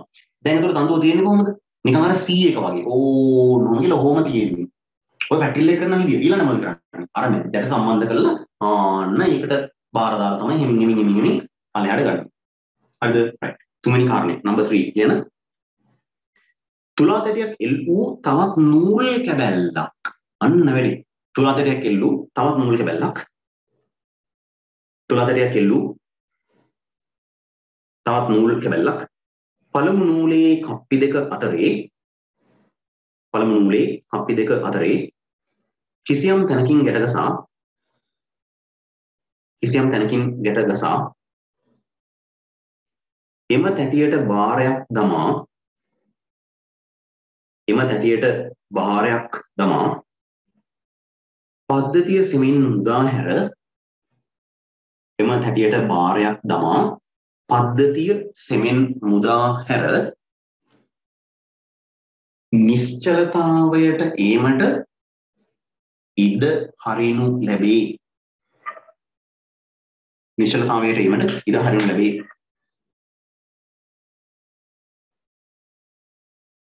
හරිද point number 3 ඔය දැන් ලිව්වේ ඊළඟ එක number 4 දැන් මම ඔබට මතකයි නේ වැඩි. විතර ලස්සනට ඒක මතක තියාගන්න. මේ මෙන්න මෙහෙම මම ඉවරට දාගන්න ඕන. මේ මෙහෙම තිබ්බා. දැන් අර්ථන්තෝ දැම්මා. ඒක මේක වටේ ගියා. මෙහෙම ගියා. මෙහෙම ගියා. ආන මෙතනට පාර දැම්මා. මෙතනට තුලාදෙඩිය දැම්මා. බලවල් දැම්මා. තුලාදෙඩියක් සම්බන්ධ කරපු තව තන්තු කැලලක් ගත්තා. අරගෙන මේ මේ මැද්දේ ලක්ෂයකට සම්බන්ධ කරා. ඉතින් අර විසිද්ධියම තමයි නමුත් මේ ප්‍රැක්ටිකල් එකේ කරද්දී ඉන්න විදිය මේ. මෙතන සම්බන්ධ කරලා මොකෝ ආන්න ඒකට බාරයක් දාලා සුසු බාරයක් දාලා මේක හිමීට පල්ලෙහාට ඇවිල්ලා මොකෝ ඕ චුට්ටක් එහාට මෙහාට ගිහලා ඊට පස්සේ අර ඉස්සෙල්ලා කිව්වා වගේ පොඩ්ඩක් ඕ චලිතයක් දීලා සීරු මේ එහාට මෙහාට පොඩ්ඩක් ඕ පොඩි චලිතයක් දෙනවා මේ සීරුවෙන් එහාට මෙහාට. යන්න. ඊට පස්සේ නිශ්චලතාවයට යනකම් මොකෝ ඕ යාට අවස්ථාව දීලා ඊට පස්සේ තමයි අර විවිධ අතරශ්‍රය පාවිච්චි කරලා වැඩි කරන්න යන්නේ. හරිද රයිට් ඉතින් මේක මේ කෙන් සීරුවේ මේවා ඔළුවට දාගන්න point by point. ඊළඟ කාරණය අංක 4 පද්ධතිය මෙම පිහිටීමෙන් පද්ධතිය මෙම පිහිටීමෙන් මොකද මේ මේ කතාව හරියම වැදගත් right? පද්ධතිය මෙම පිහිටීමෙන්. මදක් වෙනස් කොට පද්ධතිය මෙම පිහිටීමෙන් මදක් වෙනස් කොට නැවත එම පිහිටීමටම පැමිණේදැයි නැවත එම පිහිටීමටම පැමිණේදැයි පරීක්ෂා කරනු ලැබේ. නැවත එම පිහිටීමටම පැමිණේදැයි පරීක්ෂා කරනු ලැබේ ඔය ඔය ඒ ලියපු වාක්‍ය සම්පූර්ණයෙන් හයිලයිට් කරන්න ඕනේ. තේරුණා? මුළු ප්‍රැක්ටිකල් එකේම තියෙන වැදගත්ම කාරණය කිව්වොත් හරි. ඒ කියන්නේ ප්‍රැක්ටිකල් පැත්තෙන් තියෙන වැදගත්ම කාරණය.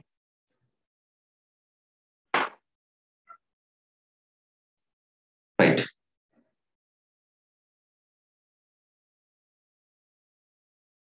එම පිහිටීමට පැමිණෙන්නේ නම් එම පිහිටීමට පැමිණෙන්නේ නම්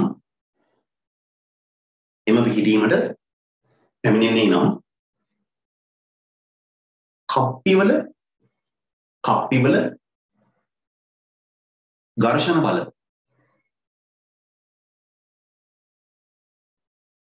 කප්පිවල ඝර්ෂණ බල නොසලකා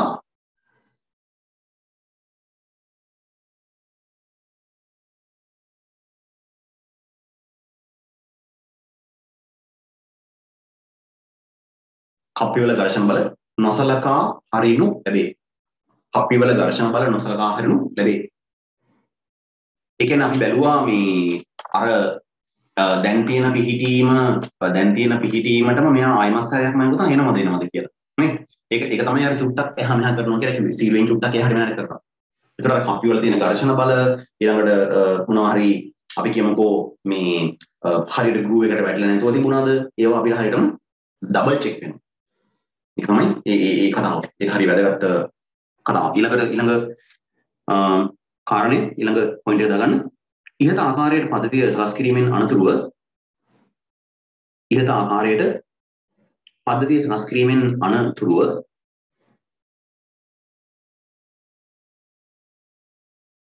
පද්ධතිය සකස් කිරීමෙන් අනතුරුව බල සමාන්තරාශ්‍ර නියමයේ සත්‍යදයි සොයා බැලීමට බල සමාන්තරාශ්‍ර නියමය සතිදයි සොයා බැලීමට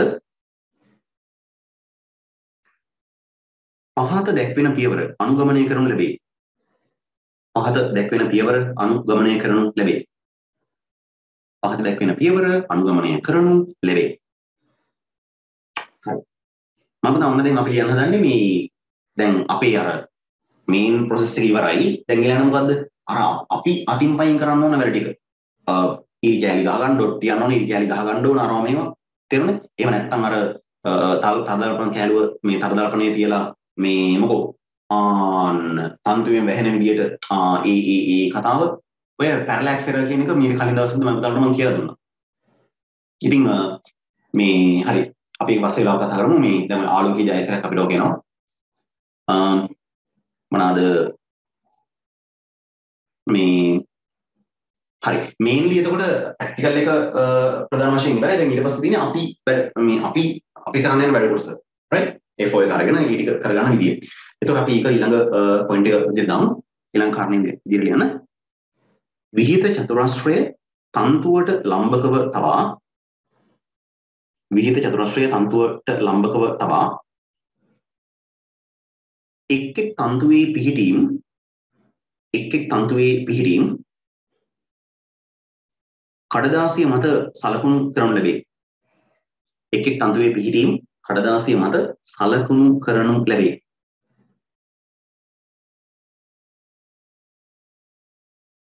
මේ සඳහා තලදර්පණ තීරුවක් භාවිතා කරන්නේ නම් මේ සඳහා තලදර්පණ තීරුවක් භාවිතා කරන්නේ නම්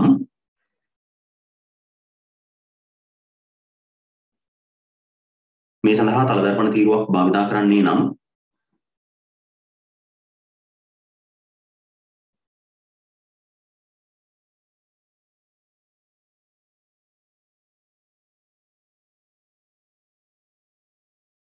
කියලා කවදාද දන්නවද පුතා?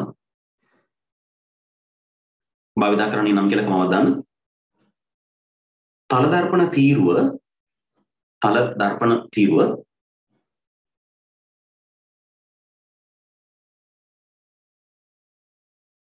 තන්තුවට යටින් කඩදාසිය මත තබා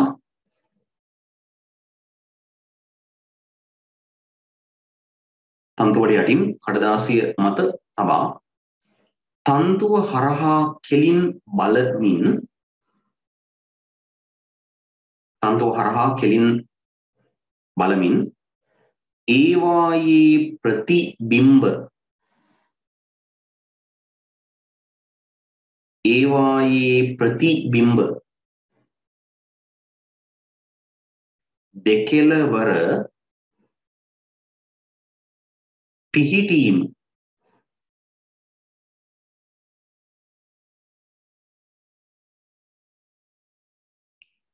පැන්සලක් ආධාරයෙන් පැන්සලක් ආධාරයෙන්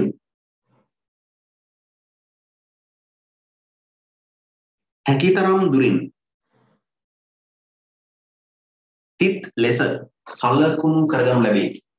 හැකිතරම් දුරින් තිත් ලෙස සලකුණු කරගනු ලැබේ.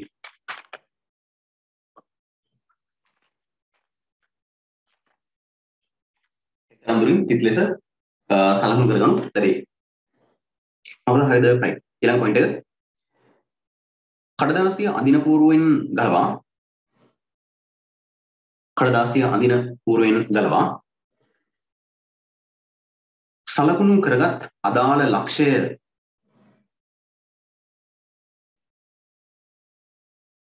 සලකුණු කරගත් අදාළ ලක්ෂය හරහා යන සරල රේඛා අඳින්න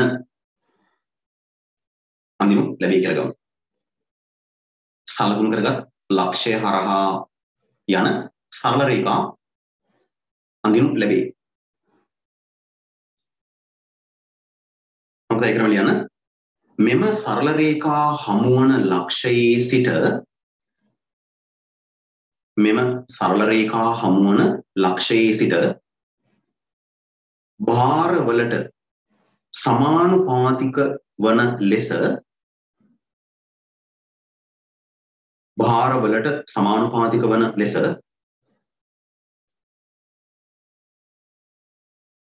සමානුපාතික වන ලෙස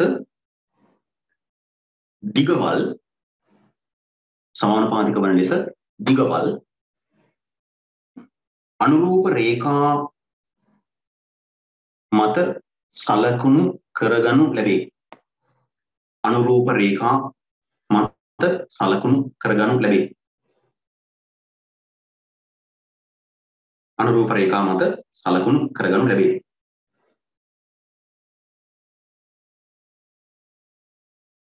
Right. මොකද ඊළඟ පොයින්ට් එක? සමාන්තරාශ්‍රය සම්පූර්ණ කොට සමාන්තරාශ්‍රය සම්පූර්ණ කොට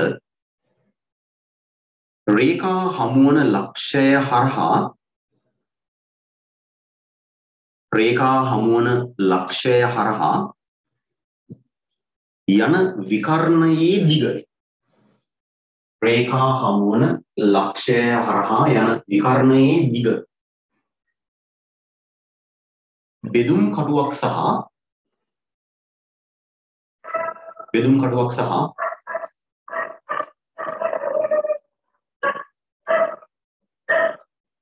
බෙදුම් කටුවක් සහ කෝදුව. බෙදුම් කටුවක් සහ කෝදුව. භාවිතයෙන්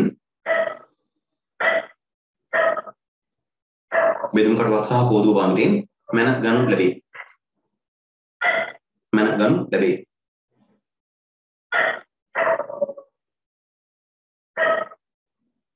මොකද ඊළඟ පොයින්ට් එක විකර්ණයේ දිගට අනුරූප භාරය සොයා විකර්ණයේ දිගට අනුරූප භාරය සොයා විකර්ණයේ දිගට අනුරූප භාරය සොයා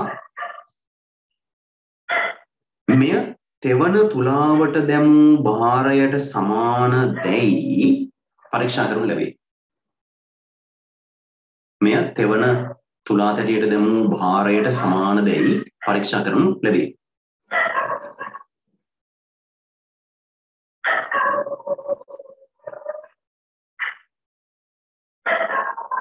right මොකද ඊළඟ පොයින්ට් එක මෙහිදී මෙහිදී විකර්ණයේ දිශාව මෙහිදී විකර්ණයේ දිශාව සිරස් දැයි සිරස් සිරස් දැයි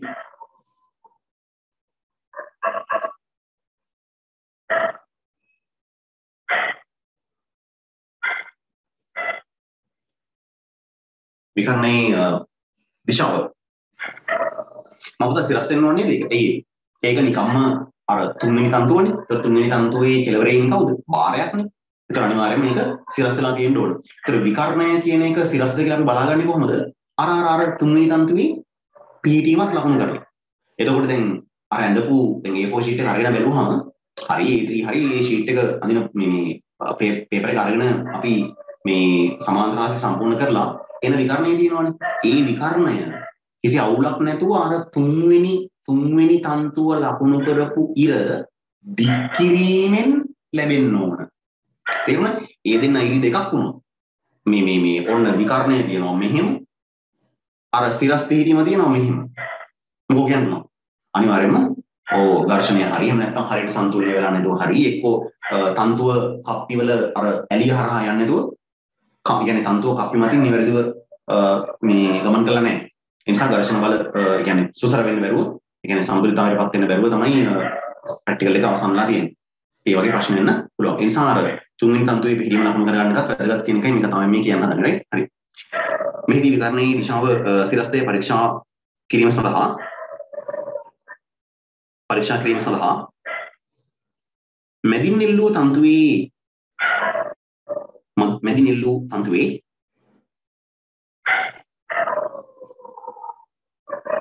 පිහිටීම සමග මැදින් නිල්ලූ තන්තුවේ පිහිටීම සමග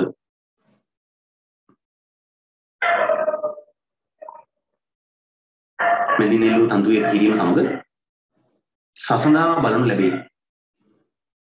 සසඳා බලනු ලැබේ.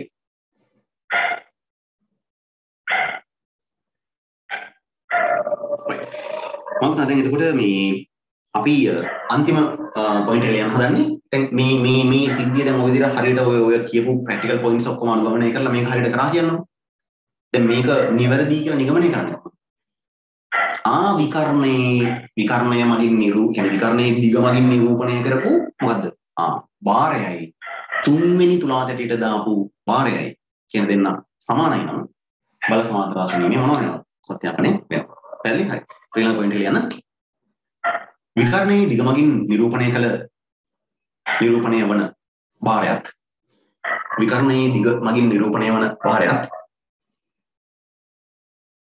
විකරණයේ දිග මගින් නිරූපණය වන භාරයත්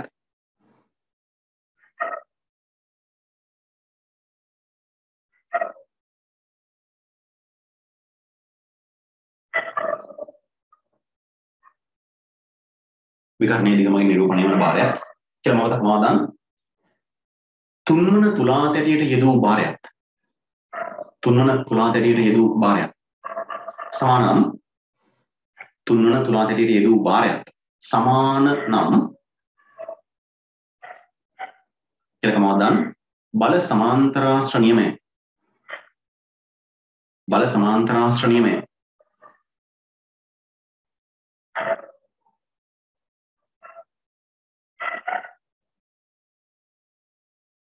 බල සමාන්තරාශ්‍ර නියමය.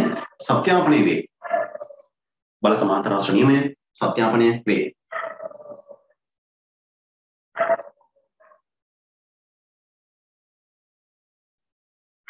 හරි මොකද දැන් මේක තියෙනවා මේ දැන් හැම ප්‍රැක්ටිකල් එකම තියෙනවනේ අපිට නේ චුටි චුටි චුටි වැදගත් දේවල් මේ බලා ගන්න.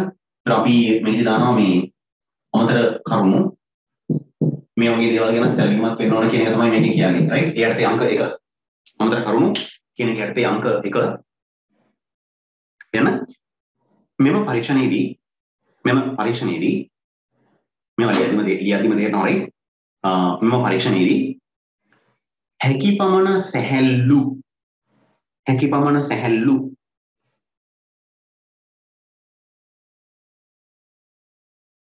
හැකි පමණ සැහැල්ලු. තන්තු භාවිතා කළ යුත්තේ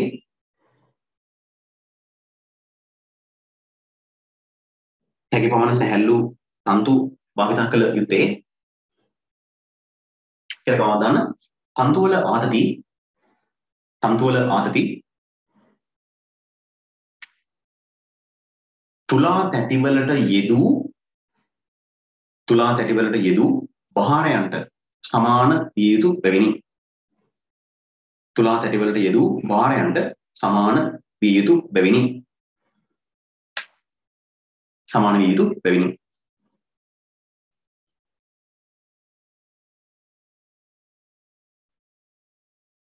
හරිද? රයිට් මම දැන් ඊළඟට අපි කියමුකෝ දැන් අපි දැන් මේ ප්‍රැක්ටිකල් එක කරන වෙලාවේදී අපි දැක්කා මේ අපි ඉස්කෝලේ කරනකොට අපි දන්නවා ඔය තුලා තැටිය කියලා කිව්වහම අපි දැන් තුලා තැටියට දාන ඕ තුලා තැටියට දාන පරිඩි විතරක් අරන් ගිහිල්ලා මේ ඒක අරගෙන හරියන්නේ එයි. ස්කේල් පෑන් එකටත් වේට් එකක් තියෙනවානේ. අපි සැහැල්ලු ඒවා තමයි ගන්නෙ. සැහැල්ලු කියලා කිව්වට ග්‍රෑම් 10ක 15ක 20ක විතර වගේ ස්කන්ධයක් තිබ්බොත් එහෙමකෝ ඒක බලපානවා. එහෙනම් මොකෝ කියන්න පුළුවන්.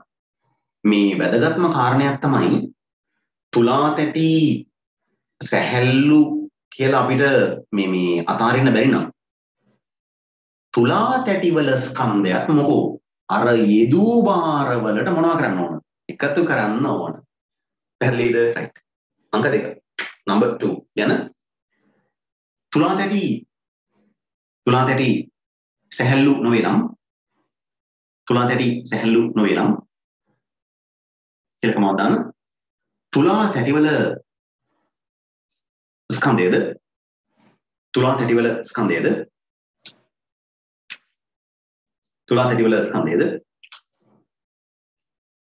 අනුරූප අනුරූප භාරයන්ට අනුරූප භාරයන්ට එකතු කළ යුතුය අනුරූප භාරයන්ට එකතු කළ යුතුය හරිද? right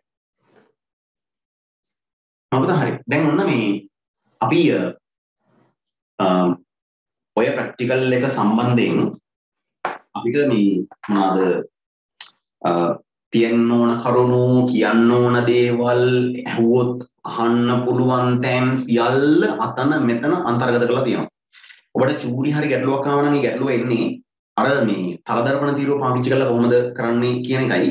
ඒක මෙහෙම බැලුවා මේ මේ තියෙන තන්තුව ඊළඟට බෝඩ් එක තියෙනවා මේ හරිය. මෙන්න හිතන්නකෝ. මේ තියෙන්නේ මේ වෙනවා correct.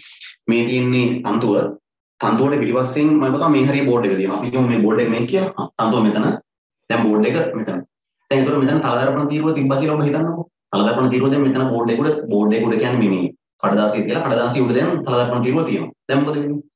දැන් ඔබට මේ බෝඩ් එකේ සමහර විට පොඩ්ඩක් පේනවා ඇති. මම මෙන්න එහෙම පොඩ්ඩක් ඈතට කරන්න. Right?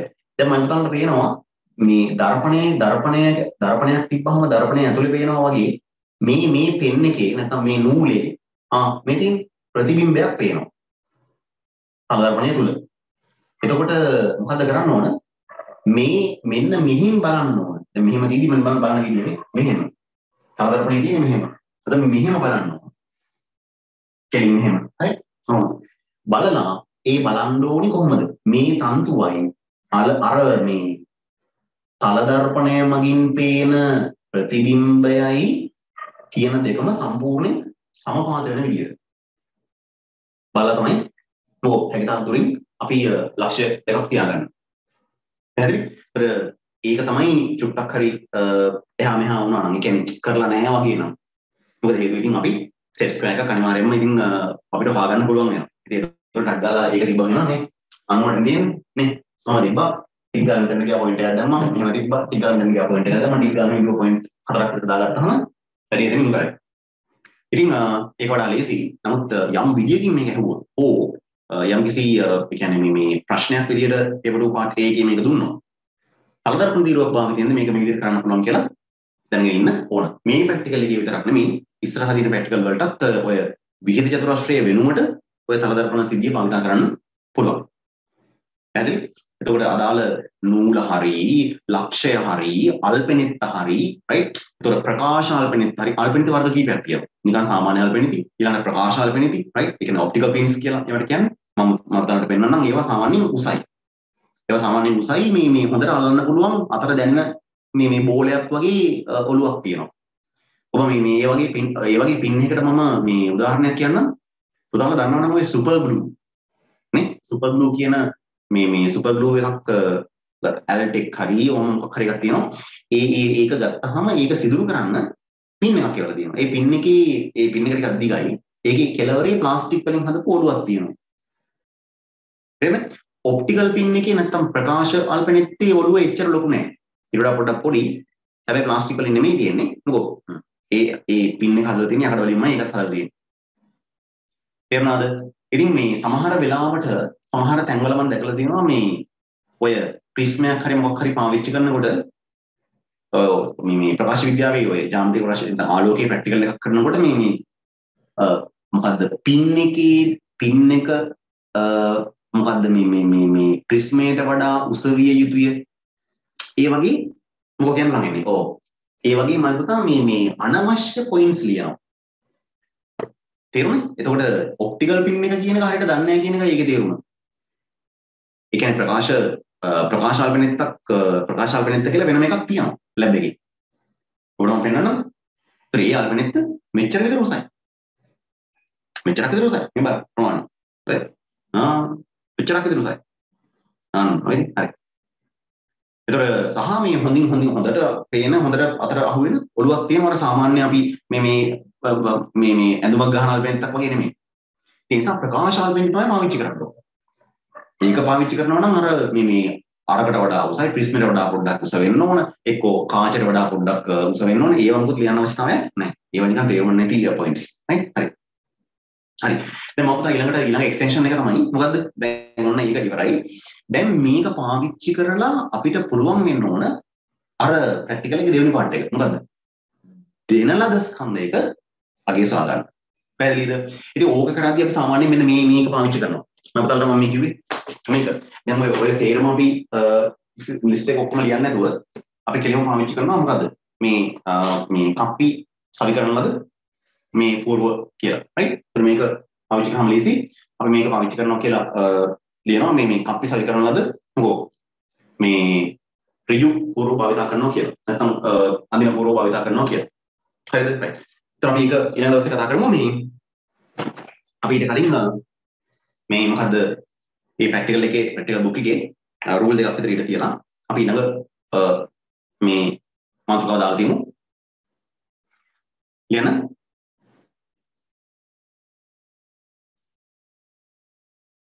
බල සමාන්තරාශ්‍ර නියමයේ භාවිතයෙන් බල සමාන්තරාශ්‍ර නියමයේ භාවිතයෙන් බල සමාන්තරාශ්‍ර නියමයේ භාවිතයෙන් දෙන ලද දෙන ලද කුඩා වස්තුවක ස්කන්ධය සෙවීම බල සමාන්තරාශ්‍ර නියමයේ භාවිතයෙන් දෙන ලද කුඩා වස්තුවක ස්කන්ධය සෙවීම හරිද රයිට් කුඩා වස්තුවක ස්කන්ධය සෙවීම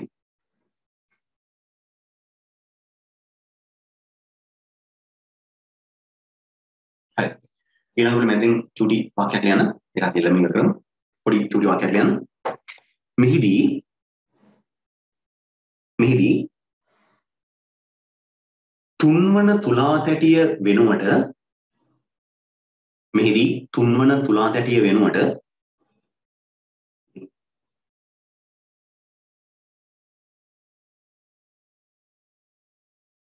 සැහැල්ලු නූල් කඩකට සම්බන්ධ කළ ස්කන්ධය සෙවිය යුතු වස්තුව සැහැල්ලු නූල් කඩකට සම්බන්ධ කළ ස්කන්ධය සෙවිය යුතු වස්තුව. ස්කන්ධය සෙවිය යුතු වස්තුව.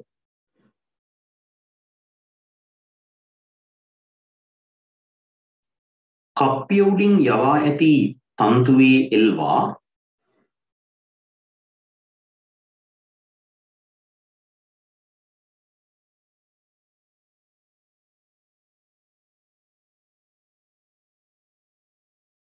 කප්පිය උඩින් යවා ඇති තන්තුවේ එල්වා.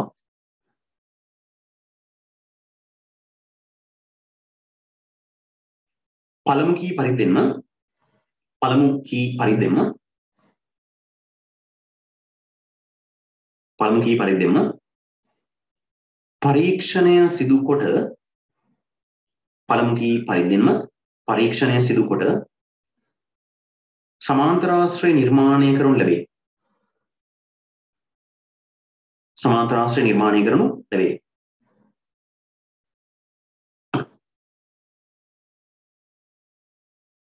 සමාන්තරාශ්‍රය නිර්මාණය කරනු ලැබේ.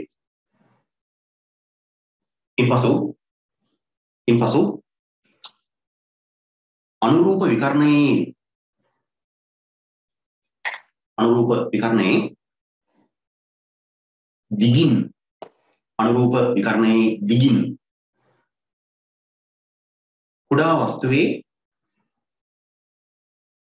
බර සොයාගෙන කුඩා වස්තුවේ බර සොයාගෙන එමගින් එහි ස්කන්ධය ගණනය කරගනු ලැබේ. කුඩා වස්තුවේ බර සොයාගෙන එමගින් එහි ස්කන්ධය ගණනය කරගනු ලැබේ.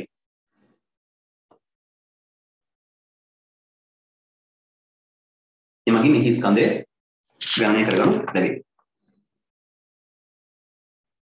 right. අද තමයි එතකොට ප්‍රැක්ටිකල් එක ප්‍රැක්ටිකල් එක තනින් ඉවරයි. ඒ කියන්නේ සම්පූර්ණයෙන්ම දැන් අර කියපු විදිහටම ඔය පාර්ට් එක මේ ඕක පරීක්ෂණ අංකය 5 ඔබ ඒක තේරුම් ගන්න.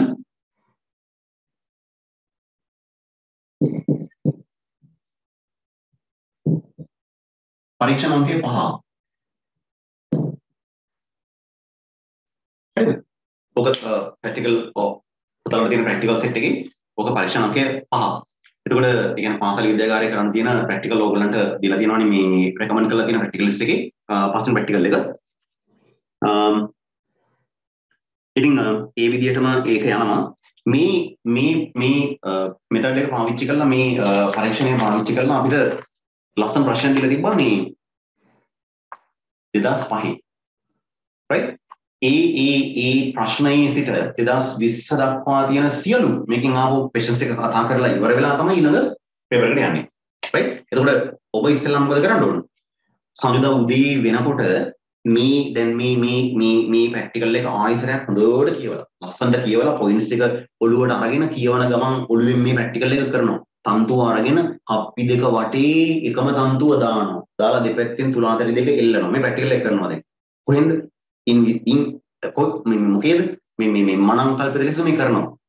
දෙකලවරේ තුලාතැටි දෙක එල්ලුවා. ඊළඟට දැන් පේනවා තව තන්තු කොටසක් තියෙනවා තුලාතැටියක් සම්බන්ධ කරලා.